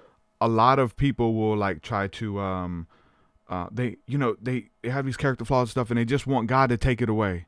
Take it away, Lord. I, make me stop. I can't stop. Take it away, Lord. And usually God doesn't take it away. So I found that like it's a it's a free uh, free will is huge. Your free will act of worship that I get to choose as a sovereign human. Choose this day who I will serve. I get to choose if I want this or God. So for me, uh, uh, any type of addiction like that is like, yeah, my flesh wants it, my body wants it, but I want the Lord more. I want my destiny to be fulfilled more. I want to walk in my calling more. I want to honor the Lord with everything that I do more. So it's like to turn from the things that are killing you. It's like this I have to it's a it's a privilege that I get to lay it down at your feet, you know, daily cuz I want to do it. I'm addicted to it. My flesh wants it. It makes me feel good. It's an easy escape. It, like when I you smoke cigarettes, the, the instant nicotine calms my spirit, calms me down. Well, God has other ways that He wants to calm you down, where He is the source. And so to be conscious of like, I want to smoke. It's I, I'm addicted. I like it. It's good, even though it's unhealthy. But Lord, I lay it down at Your feet, and I want to give it to You. And so for me, all of those, that's how I deal with any addiction or anything that um, that I need to lay down. I just give it to Him, you know, and look at it as a form of worship. And don't try to run from it. Take it away, God. Like acknowledge it. Because I think you know, as a health coach and, and seeing the spiritual side to it, that we're most of this stuff is is we're dealing with symptoms anyway. Like the smoking is a symptom of us being too anxious. And the scripture gives us ways to deal with anxiety, right? Or smoking is a reason for us to have instant comfort because we don't feel comfortable in our own skin. So we smoke because it brings us comfort. What it we we drink so we can feel normal or to whatever it is, you know what I'm saying? So I feel like a lot of these symptoms are uh, manifestations of a deeper root. Would you say that? Yeah, yeah. And the more Jesus, the more freedom, the more uh, more separation uh, from anything destructive, whether physically or mentally or spiritually. Um, so yeah, growing in uh, growing in wisdom. You know, over my my ten year journey, um, God is ever so wise, and uh, when you start waking up to that, start being aware of that, start seeing that happening in your life. Uh, it really, really forms transformation. So, um, you know, smoking, uh, usually counseling somebody, what, Gavin, was it that you said? Yeah, Gavin. Yeah. Yeah.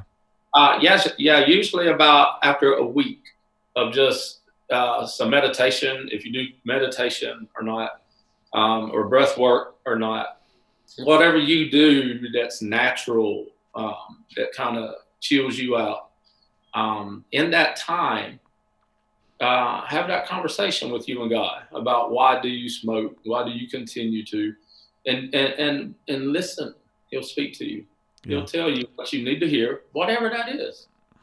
And then he'll give you wisdom on that. And then, you know, I went from, um, I went from drinking all the time. Then I met Jesus to no drinking none of the time. To now I get to drink anytime. But I use that with wisdom. Yeah. It, it took a process of growing and going through that. But once you have authority over the thought or the habit, the flesh, once you take that, once you have that authority through that knowledge and understanding of God, then you get set free from it. Yeah. Yeah. I so think- seven days of meditation, breath work. If if you do those things, uh, 20 minutes a day. I, if I had to prescribe it, you know, There you go. a legalistic way, you know, here's your Yeah. prescription.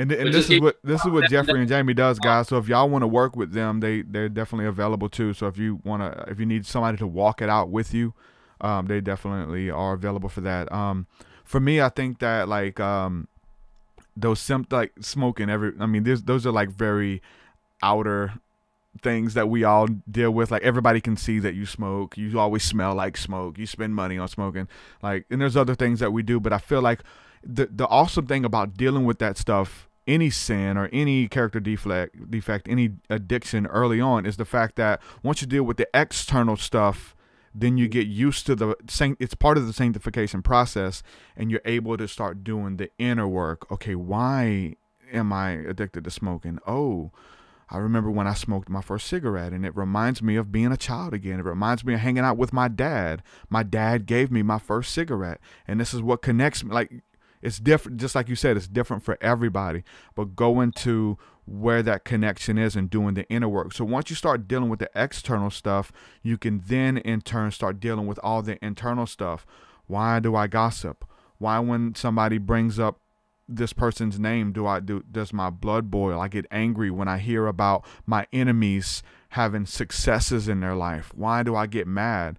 Why do I want secretly want my enemies to be destroyed and why do they why am I jealous of people who are successful? Like doing the inner work and so it's part of that stuff so if you want to kickstart it which is this is what we do we champion this work man the inner work this is it's becoming really uh, it's catching on. A lot of people are wanting to do the inner healing and deal with trauma and stuff like that. So if you want to kickstart it, deal with the stuff that you know on the outside needs healing. You know, Yeah. the cursing, the bad habit, the excessive drinking, the excessive smoking, whatever. Deal with it, and then God will begin to, you know, be faithful and start showing you the inner workings of the spirit, man. And I believe in walking in our destiny. We have to do that that's part of the process. He won't allow us to ascend to the next levels until we respond with love to all of that childhood trauma and he'll unlock more because we couldn't handle it. It would probably kill us if we seen it all like what it really looks like and all the attachments and spirit you know, people talking about cutting cords of attachments and spirits that are hanging around because we've come into agreement with different belief systems and religious thoughts and ideologies or ungodly beliefs is what we call them. And so, but doing that inner work, man, is definitely where it's at. And there's a lot of people who are uh, who are ready to do that. Um, let me ask you this to another question. We got several here uh, because we mentioned Kundalini, um, and there's a lot of people talking about it these days. Now, uh, we talked about Kundalini yoga, which is a form of yoga. Um, someone wants to know. This is um, um, somebody says, is Kundalini a spirit or is Kundalini demonic? In your opinion, what would you say? I would say um, that you would be best to answer that. Uh, to describe it and all of that. Yeah. Okay. But, uh, well, I mean, your I mean your expression with Kundalini yoga. What do you feel? Do you feel you're communing with the spirit by the name of Kundalini when you do Kundalini yoga? if I am, I'm very unaware of it, and I'm not doing that. So, um, and Kundalini was big at one time with me, and when I say big, I did it like maybe two or three weeks in a row. Yeah. You know, did it. Um, just enough to get into it to say, all right, what is it? Just to be able to talk to God. It's hard to have a conversation with God never doing something before. And I'm, I don't recommend dabbling in thing dark or antichrist. I'm talking about with an open mind, an open conscience, secure in Christ Jesus. If you're in Christ Jesus, all things were created by him, for him, and through him. There's nothing that exists that exists that shall not bow to its name. So it's we have the authority that we get to interact um, and and explore, so to speak. Again, the humanistic, the physical realm.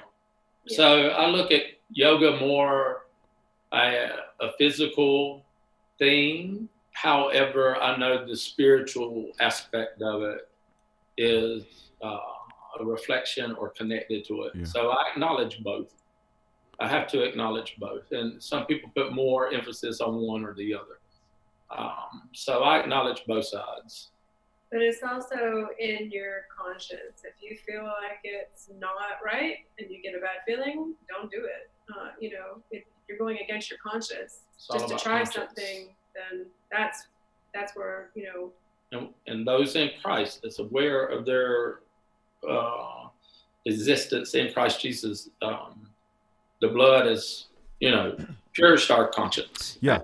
And, and we're able to ha- really trust and lean in on our conscience. So, um, you know, that's a very mystical and intriguing uh, subject to talk about conscious and consciousness and all. But no, um, at first, just because it was new, maybe I was uncomfortable. Mm-hmm. Uh, then, as I noticed, I was um, being more flexible, uh, more still, and that I was really enjoying my time with God, doing a movement or two. Um, yeah, so very unbiased toward it. Uh, not for it, not against it, but I do recommend it. That's what's up. You you do recommend it, so you wouldn't recommend somebody to be doing something that's going to harm them. It's gonna it's gonna it's gonna benefit them, and you haven't seen any negative side effects or benefits. It, The, um, for me.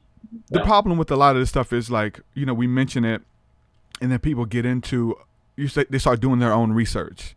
You know, and so we'll talk about how Kundalini yoga is beautiful, changes our lives, helps us become more in tune and tap into the spirit, even through Christ. And so, but you start Googling, you'll find all kind of weird stuff about Kundalini. It's a demon spirit that wants to in, invade your life, and man, just all kind of crazy stuff, really. Um, but that's the same thing with anything at all. Like if we start speaking about the Holy Spirit and how much He's changed our life and this fellowship with the Holy Spirit, people can start Googling the Holy Spirit and they're liable to find somebody who believes that the Holy Spirit isn't present or at, at work in the life of a believer anymore. That it's, you know what I'm saying? There's a lot of Christians who believe that God doesn't speak to the heart. God doesn't, it has to be just the word only. God only speaks through his word. He doesn't have a still small voice. He doesn't communicate with believers. There is no work that's being done on your conscience and those kind of things. And so, like, I really believe that uh, as believers and us having this this conversation, we need to talk about Kundalini yoga, especially if it's something that we that we do. It's it's we need to talk about the Holy Spirit so we can kind of give a, a right understanding. That way, that somebody's conscious will will be okay. You know what I'm saying with something beautiful, and that's big though. You know, you like you said, if it's your conscious that's telling you no, then you can't.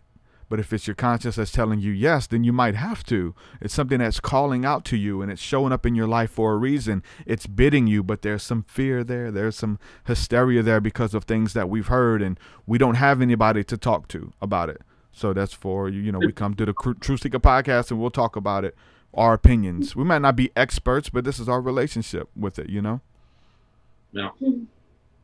It's always iron sharpening iron. It's always two trees, you know. Um, it, it, it's it's real good. And when you come together and talk these things out, do life, you know, whether you counseling, coaching, um, just doing life, man, it, it does. It really it really does promote growth and it's very edifying, very Yeah. encouraging. There's no. I mean, holding it in is the the enemy. When you hold Yeah, it in and you act like you don't do it, or I'm scared of what people are think, but that's the enemy. You got to live in in the light, all of it. Bring it to the table. To, you know. Yeah, and that's what I find myself dying to every day, brother. Um, I make Yeah. sure I die to that every day. I'm getting on to her about not doing a good enough job of keeping me as. uh, It's your fault that I'm not. to blame the woman, right? Um, but yeah, uh, doing life like that. It's what Yeah. we enjoy doing, Derek, as a family. And um, you know, we have people we we get to speak into their lives today. We're very privileged to Yeah. know some dear people that Mhm. we've learned um, on our journey. So they they do the same for us. They sharpen us, we sharpen them. It's mutual. We esteem each other greater than one another Yeah. and just be so super transparent, you know. And uh, we enjoy doing life, real life, with real people, we can talk about anything, and you just refuse to be offended. And if you do get offended, you say, "Time out. I'm offended. Let me go learn what that means.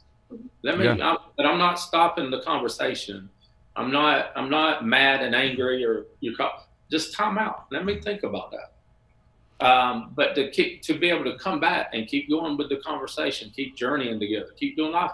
That's precious, man. We love that the It's most. becoming more popular with Well, with with believers. Awareness is rising in the earth, and Do you, uh, do you do you think it's because and even with your own journey is it because you've been open and vulnerable with with you've been open and vulnerable with people and then they leave like they act like it's okay hey bro you can be open and honest and you're okay and you become open and honest and they're like hey don't talk to them man they're they're shot out you know what I'm saying? Because we've been let down. So now we know that's a thing. That if you're open and honest with people in the church, they'll they'll they're like we, understand the scripture says that healing comes through confession. Hey man, I'm dealing with this, I'm dealing with that, I believe this.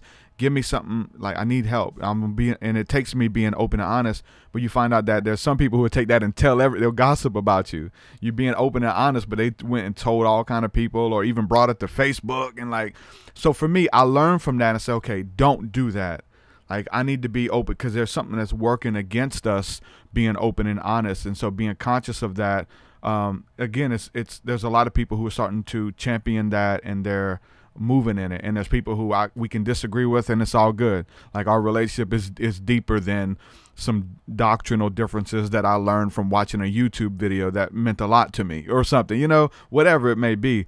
So is it something? Is there a reason that you champion that? Did you have to deal with that at some point? In what regard? and um, that that you're conscious of i need to be i need to move past the offense i need to know that our relationship is deeper than you know your re- revelation of the cross or your re- revelation of speaking in tongues or what you know what i'm saying Sincerity, if I hear you correctly. Yeah. Just genuinity, the the sincere faith of God, the sincere love in Christ Jesus. It definitely makes you vulnerable, and you're gonna people gonna come, people gonna go. We had one pastor in our life at one time says, "Buddy, you just driving the bus. You're gonna have a bus load. Sometimes you ain't gonna have one or two. Sometimes you won't have nobody. You just keep driving the bus. Just people keep are going to get off. Some people are going to get on. they're gonna come and go. And uh, he said, just keep on keeping on. And that was his way of communicating at me at that time. And uh, but learning, uh, learning that, experiencing that, and growing in that um, is beautiful. It's so Yeah. beautiful. And Yeah. so when we do find ourselves offended with somebody, we like hold up, wait a minute. You know, we And we remind ourselves, just keep driving the bus. but we we start examining though. We do it. What's this plank in my eye now? Yeah. I'm offended. I got a dang plank in my eye. I'm ready to pluck out. It's offending the mess out of me. I, no, no, no. I don't need to pluck my eye out. I need to examine myself. Then that little speck in your eye don't offend me. Uh, we share the same speck. Yeah. We got the same uh, perspective. So doing life together really facilitates um, a lot of being open yourself up to being vulnerable. Man, we got hurt a bunch, uh, and it's it was just because of growing. It's part of the process, you know. Um, but it's saving other people from from from getting hurt right because you're conscious of like hey this is you got to be careful you, you facilitate that easy Yeah. now. Yeah, yeah. I mean, when you see a potential tripping or hazard, a stumbling block or whatever, yeah, yeah, yeah. You you, you got a little wisdom with that zeal now. Yeah. So yeah, you help definitely. But it, it's a beautiful it's a beautiful process to do life with people, uh, whether we do it health coaching or not. And uh, and and one aspect that we do with our health coaching and life coaching, we don't charge. We just only receive donation. So it's you whatever whatever your conscience tells you to give us, we we accept that fully at that time, because um, we know that if you do life with us once, we know that we'll probably do life a lot. forever. That's good stuff. So um, it, it's really cool because now I'm seeing like in that I'm seeing Jesus so much more in the diversity of really understanding the body of Christ, the hand and the foot and the eye. Like we need each other. A, a group of 17 hands is is going to be useless. We're not going to be able to travel far. We're not going to be able to see. So now, so because in in in religion and in church, we we all had to kind of like look the same, act the same, be the same. We all want to be evangelists. We all want to be soul winners. We all want to. This is what it looks like. And so now we're understanding that the body of Christ is diversity. And he does look like this. He does look like that. He is a little bit of it all. So for us to come together with our differences, the religion I come from, like if you disagree, you're done. It, it's off with your head. You're done. So now it's like, because I, I, know that that's a thing. I'm okay, m- moving past that, and what makes us different, I'm gonna celebrate it. You know what I'm yeah. saying? Even if I don't believe it, obviously, if I feel like it's harmful or detrimental. You want to you got to use wisdom to not just let anything fly, but to be more open and inclusive because I think that we're seeing Jesus in that now more than ever. Yeah. Yeah. That's right. So like the the past uh, few months, you know, of the COVID-19, you know, um, that that what an interesting time that was. Not not to get off on that, but I think it did at the end of the day whatever day that might be for those. Uh, it, it allowed time to meditate. It allowed time to uh, be still, hopefully, or get out your norm. You know, kind of move to another country, uh, get out. You know, a little shaking, a rattling, discomfort, suffering, whatever. Uh, maybe, maybe in the past uh, weeks, nothing but good will start rising, you know, addictions being broke in the form of smoking, you know, uh, addictions and bondages and things that people suffering through. Maybe they'll during uh, this time of reflection hear and act on what they heard. And actually, uh, if it's help they need to seek out, maybe they do that. Maybe they actually act on it and not pass it by one more time, you know, uh, the next day, the next week, whatever. So, um, again, transformative grace. I believe that grace and truth came by Jesus Christ. Yeah. And I, I, I believe that He wants you to have a more abundant life in the earth. And I believe He's put uh, a team, a fivefold, whatever you want to call it. He, he's put those in the earth, sons, to to disciple the nations. Um, you know, there should come a shift I believe there is you you start from you go from being discipled to actually start discipling, and and and then uh, growing in that stage also.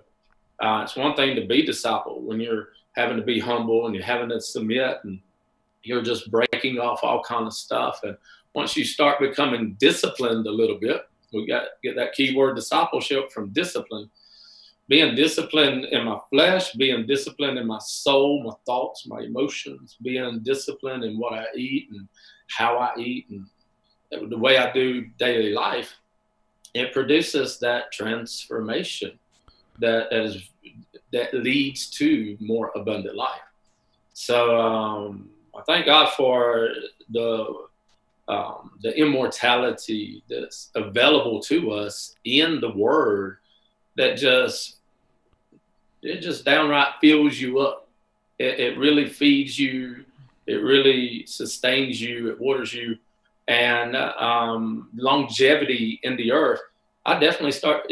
We're starting to hear it now, just in the coaching industry, but spirituality it's really going to start growing leaps and bounds. And uh, I believe people are going to really start living longer and healthier. And one contributing factor will they won't do bad things such yeah. as smoking two packs of cigarettes a day for 10 years, like Jamie used to. You know, throw her under the bus.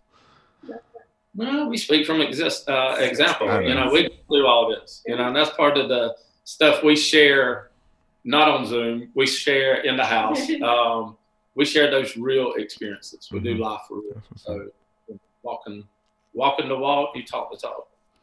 One last question here. Somebody watching on uh, DLive by the name of Testimony. Um, what's what's what's your, your, your nationality, your heritage? Didn't you say that you uh, you come from a Native American background as well? I've never done any uh, blood work or ancestry or genealogy. I've, never searched that out no further than my biological mother, um, because I am adopted, and so I did reunite with her but I never got to inquire you know, the biological side of it, you know, uh, my humanity part. I don't know much about my humanity genealogy and ancestral. I don't. If I had and still do have this conversation with God because of my transformation, um, who am I? What am I? What where? What is my ancestry? Native earthly roots. What what do I connect to the most here in the earth? And I get a Native American vibe. I feel I would say I'm Native American. I wouldn't say uh, 100% blood, but I wouldn't know that. But I, I feel dominant, calling, leading, uh, something I connect more in the Native American um, when I when I do my spiritual practices uh, and my praying time, my my, my personal time. Um, I, I, when I listen to myself pray to God, sometimes it don't sound like South Georgia mm-hmm. uh, redneck, slow, drawn out twang that everybody loves. Um, it sounds like another tribe, another tongue. So um, i tend to connect more native, and we're natives anyways. We're very feel like we're what, what's the word indigenous? Indigenous. Yeah, uh, we feel like we're just a new species in Christ. Um, before Jesus Christ, you would never see bamboo. And, you know, you would never get the vibe you get here. yeah, you're you're definitely connected to the earth, man, and connected by the uh, you know what I'm saying, back to the essence and uh, spirituality and animals. And I, I picked that. I mean, that's obvious, you know. I, um, but I don't put preference over that. Um, that's just, again, my earthly heritage. Mm-hmm. Um, I preface my spiritual heritage.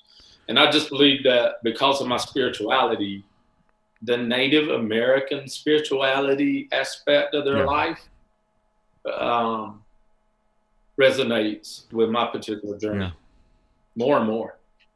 Yeah.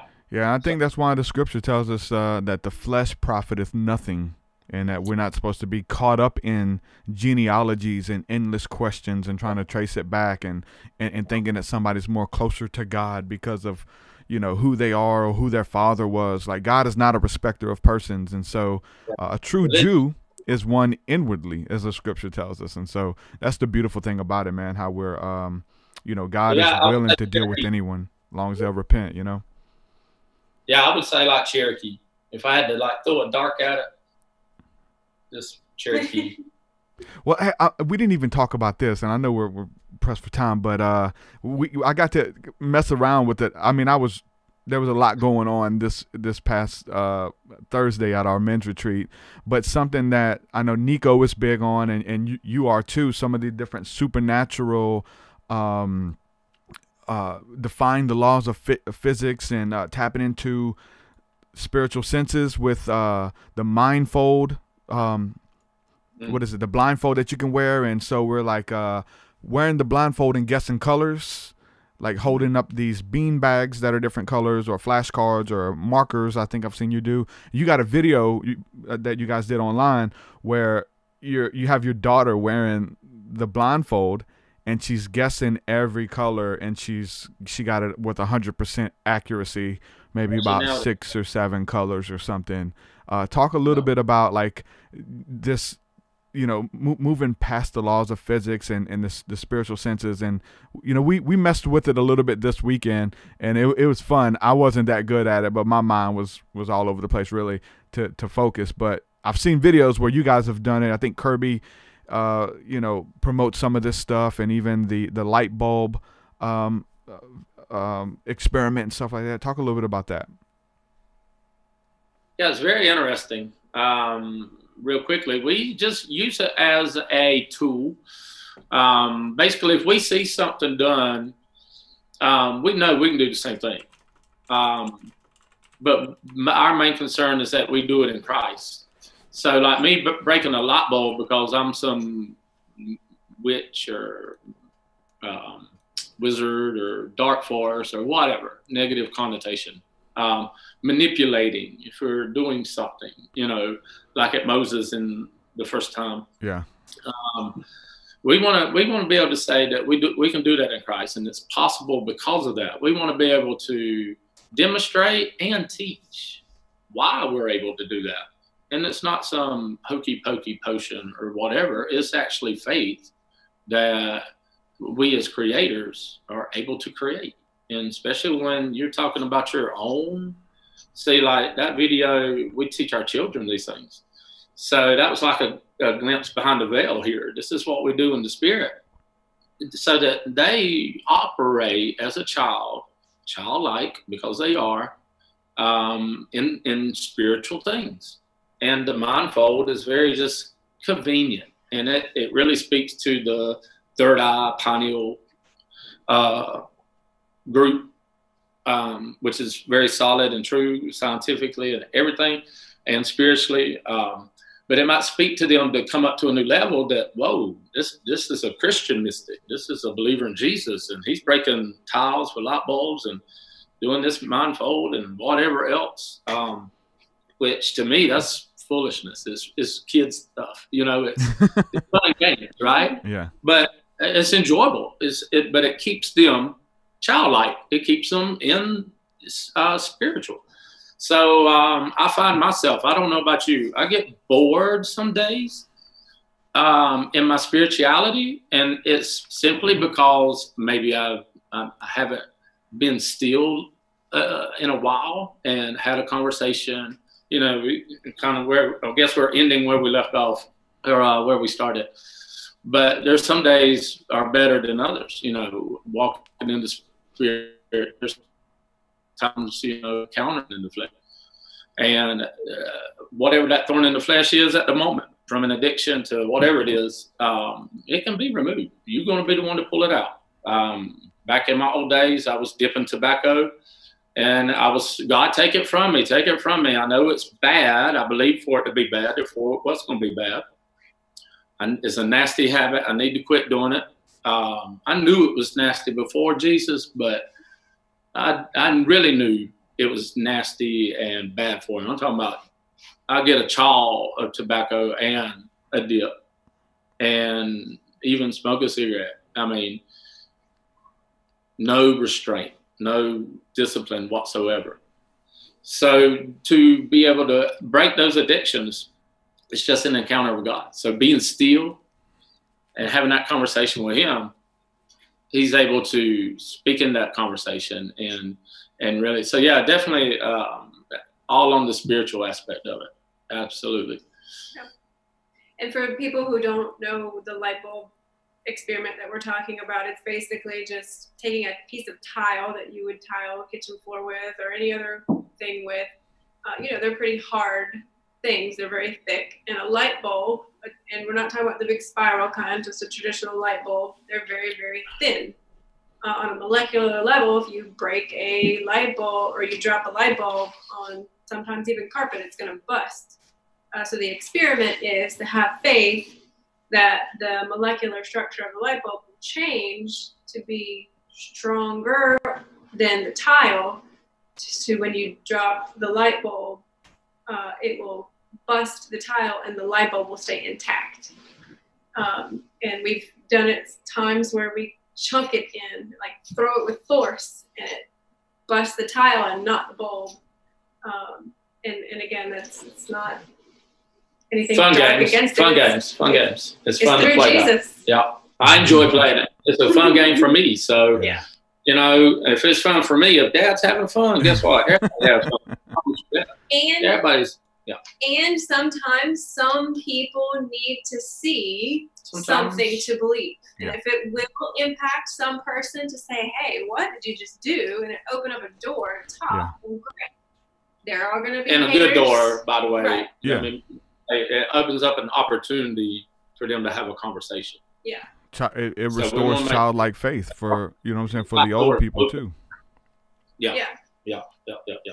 Yeah. So to believe that more is possible. I mean that's the thing. You know we I I, I like going out under the night sky or, or even the day sky and and asking the Father to show me um uh, chariots of fire or uh, angels under the night sky and I've I've had so many experiences and even this it's been a while but this past men's retreat um, that we went out we had beautiful amazing encounters. And it was awesome because it had been so long.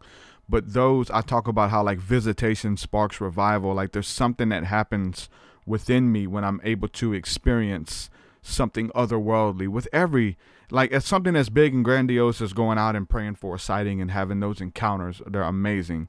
Um, or something as small as just getting with alone with the lord turning on some worship music and feeling his presence wash over my body and my spirit you know what i'm saying and change stuff and fix stuff and release things and like the beauty of this spiritual walk and this connection that we have with the father they we're left changed man. It opens up things within us to receive and uh, keeping that childlike faith and wonder. That's something that we have to kind of fight for as we grow up in, in in age as we're able to look at a lot of old people they get set in their ways. You can't teach them nothing. They they're hey it's this is the way it's always been and it's all can't teach an old dog new tricks. And so that's something that i've have, had to even like hold on why is this why am I set in my way in a cognitive dissonance, even though you've shown you've been shown other evidence and other teachings or whatever, but you won't believe it because you're just set in your ways. It's easier. You've maybe even taught people that this was the way or whatever the case is. And so I think that's something that uh, spending time in the presence of God through any type of spiritual work, walking in the spirit involves all of this stuff, I believe. And uh, I think it's so important and big part of my life as well. Yeah, so it's interesting there because as a holistic, and when I say as a holistic health coach, you can take that out and substitute it as pastor. This is how we pastor people. Ultimately, yeah. we're pastoring people, and in the secular term, uh, or in a non-religious way, or in a safe way, yeah. we health and life coach. It, yep. The two are interchangeable, and we practice the spirit above the natural. Um, but we exploring doing life together holistically, spirit, soul, and body. So being able to talk about your physical body, um, diet, health, nutrition, whether we talk about your soulish realm, thoughts, emotions, feelings, imaginations, the whole thought process, the consciousness, you know, soulish realm can um, be very enlightening for some folks. And then, of course, lining those two up. If you're healthy in your physical body and if you're healthy in your soul, you're going to have a you're going to be in a prime position to be healthy spiritually because your foot ain't hurt or, or you don't have this thing hurt you or you you don't have your mind on this. You don't have your mind on that. Um, it's all the more abundant alignment the more abundant alignment of heaven to earth in your personal life is what christ produced for us. So whenever i started getting my my spirit man my my soulish man and my physical man, when they started getting lined up, and I really started experiencing the abundant life in Jesus Christ. So that's what we strive to do. Um, we, we tend to do more living room, uh, one-on-one, real Zoom type, blunt, transparent type uh, engagement rather than a pulpit or a church office with a desk. But come whatever may. yeah, we, we, try to make it comfortable, man. Yeah, so you know, um, if you're Buddhist, then we we're able to facilitate that. If you're Hindu, we can facilitate that. We can facilitate any belief or non-belief, any yeah. culture, tradition, uh, just because of our willingness to not get offended and just to be real. Goes a long way, especially in coming from religion, man, which we're in the Bible Belt, we're we're inundated with it. You know, people have a form of godliness but deny the power thereof.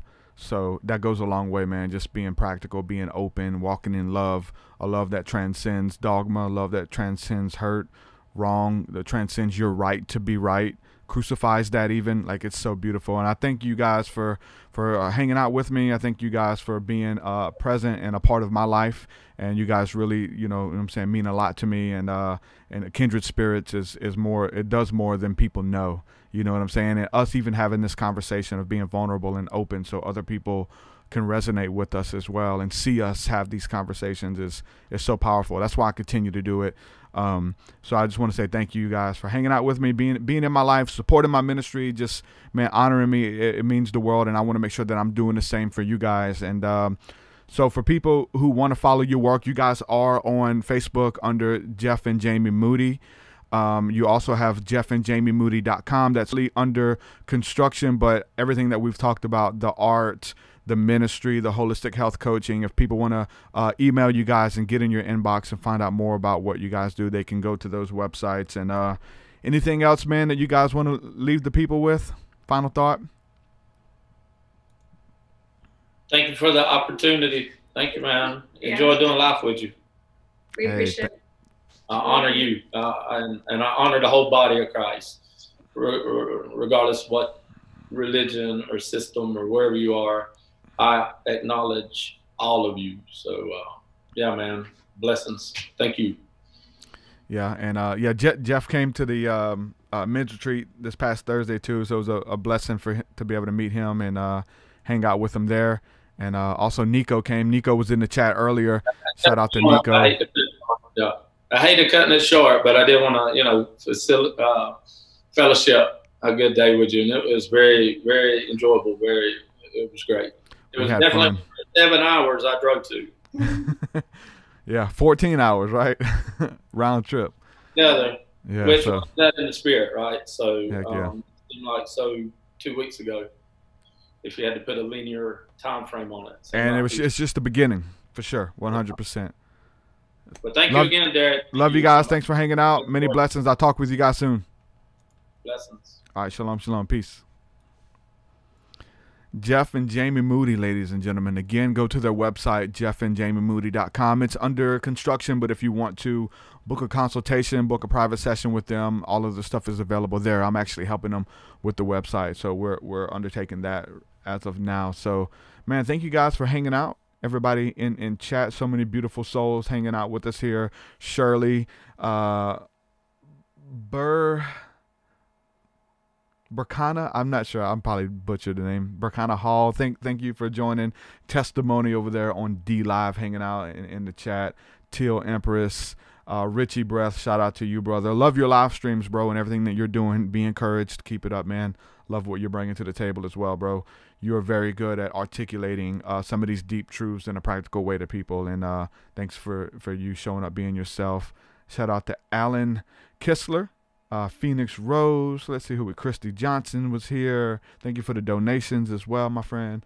Um, yeah, shout out to everybody. There was a bunch of people here from the beginning, but we've gone two hours and I can't see this chat anymore that far up. So, man, I hope this encouraged you. I think that uh, again, just seeing how we're supposed to operate, man, how we're supposed to walk in love, how we're supposed to communicate, and um, the the key there of not getting offended. You're gonna hear stuff that's gonna offend you. There's because there's on on this walk, this faith walk. There's there's people that you kind of link in with, and and you feel open and vulnerable with until you're open and you share something that kind of catches them off guard or it scares them your, your freedom your, your your liberty it ends up becoming a, a threat to them you know you find out there's people like that and so they stop walking with you you know and there's people who come in and out of your life and that's understandable but but identifying that of like there's people who are in it for the long haul. Like i really do feel like there's those people there. And um and we have to say that because dealing with religion and spirituality and i remember we talking about this yesterday it's like man you'll have people that I, i've had people in my life that i've um we would talk to every day. We studied the scriptures together every day. We pray every day. Even if it was just that that morning thing just touching base. Hey man just checking on you praying for you. Man this is what god's doing. And every day there was this connection. And this was somebody new. And then they have something go on in their life where they have a change of heart. They learn something new doctrinally. Or maybe they just even quit living for the lord. Maybe they start get they get back on drugs and alcohol and start doing meth again or something i don't know. Get back on pills and and then you never hear from them again. They don't want nothing. They don't because you represent you know doing right living for the lord and so they're just gone. You'll never hear from them again. Or they find out that you that you do kundalini yoga. You never hear from them again because it's some there's a disconnect there and so we know that that's a thing i've experienced it so much and i've been in this thing for a long time that i know that i have to fight against it and we can feel it rising up in our own selves right again when we're conscious of it hold on why am i upset that he doesn't believe the way that I believe? Why am I upset because they, you know, choose to love their enemies versus whatever? Being consciously aware of that, uh, helps us to move forward and to preserve friendships. Um, and, and, and the scripture says love keeps no records of wrongs. Like we're able to let love transcend our differences and really, more than ever, for me, my spirituality, to be able to see Christ in that, to be able to see love in that, that even though we disagree, I don't care.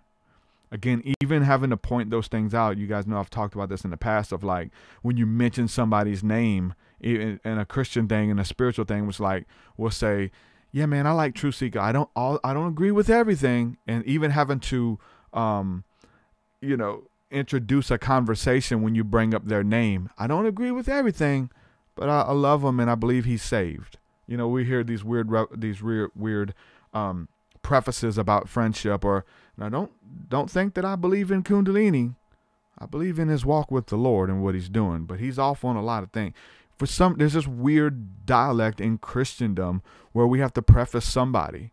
Man, I like Nico. I don't agree with everything he believes in. Like, why did you have to preface saying this guy's name and then say I don't believe in everything? And it's a to be conscious and aware of that. Like why do why do I not want to be identified with his mushroom use? you know, I don't believe in everything that he agrees with, but I love him and he's a brother. Or, you know, so being conscious of that, even though we disagree, we have disagreements. Look, it's nothing. I don't care. Let me find the scripture says that can two walk together lest they agree. And from the realms that I come from, we would find things in people's lives that we don't agree with and we don't agree on, and we would use that as as a term or as a reason to not walk together.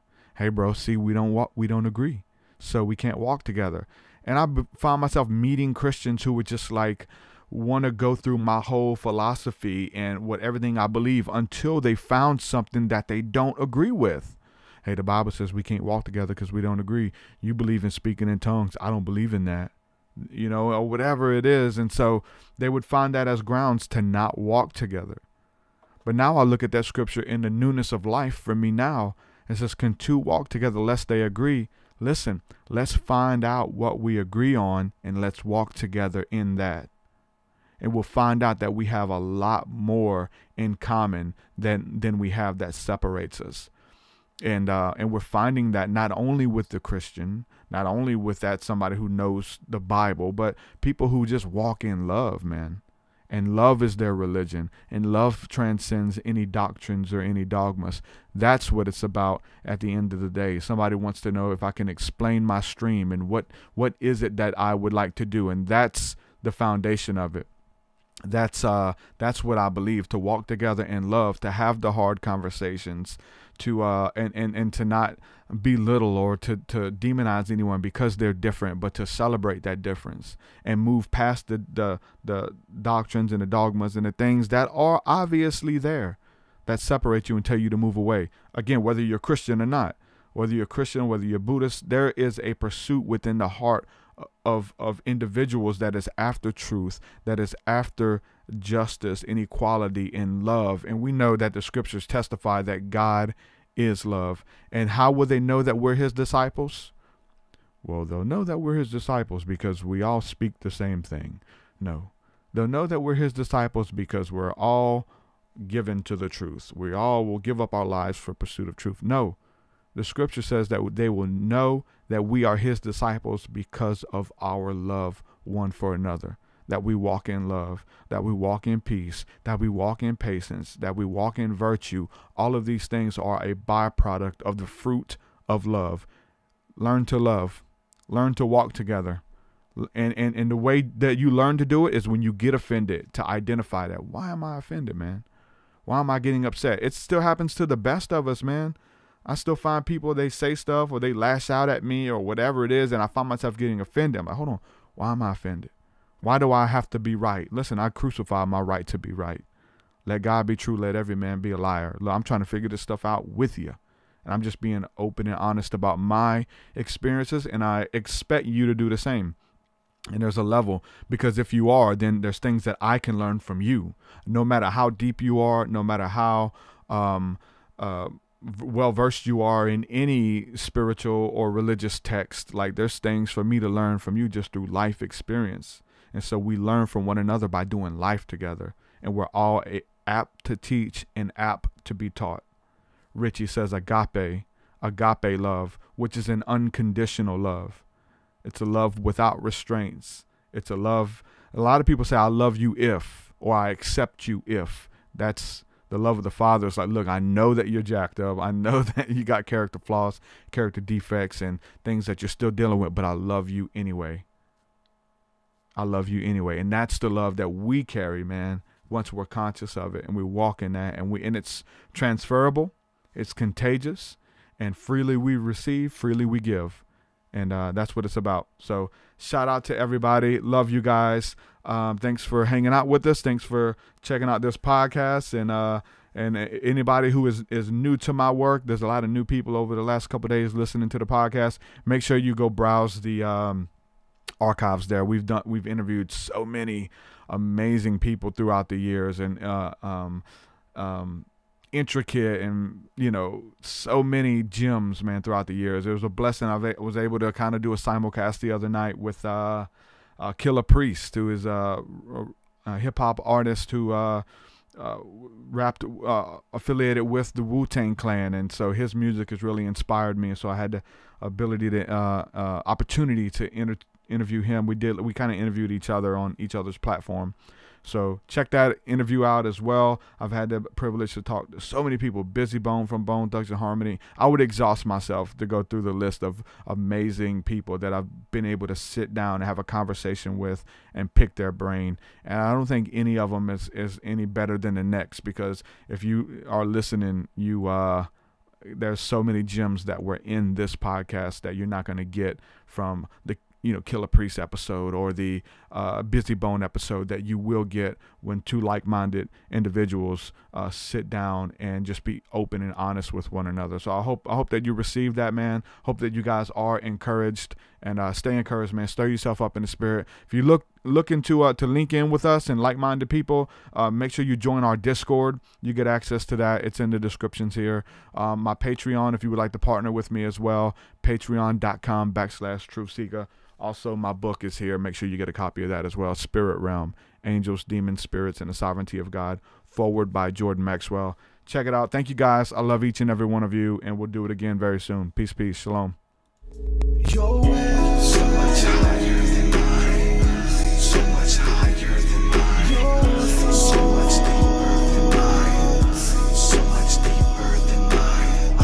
That does it for this episode, folks. To hear more episodes of the TruthSeekah podcast, head over to truthseekah.com. And if you're wanting to support the show and get rewards, go to our Patreon page at patreon.com forward slash truthseekah.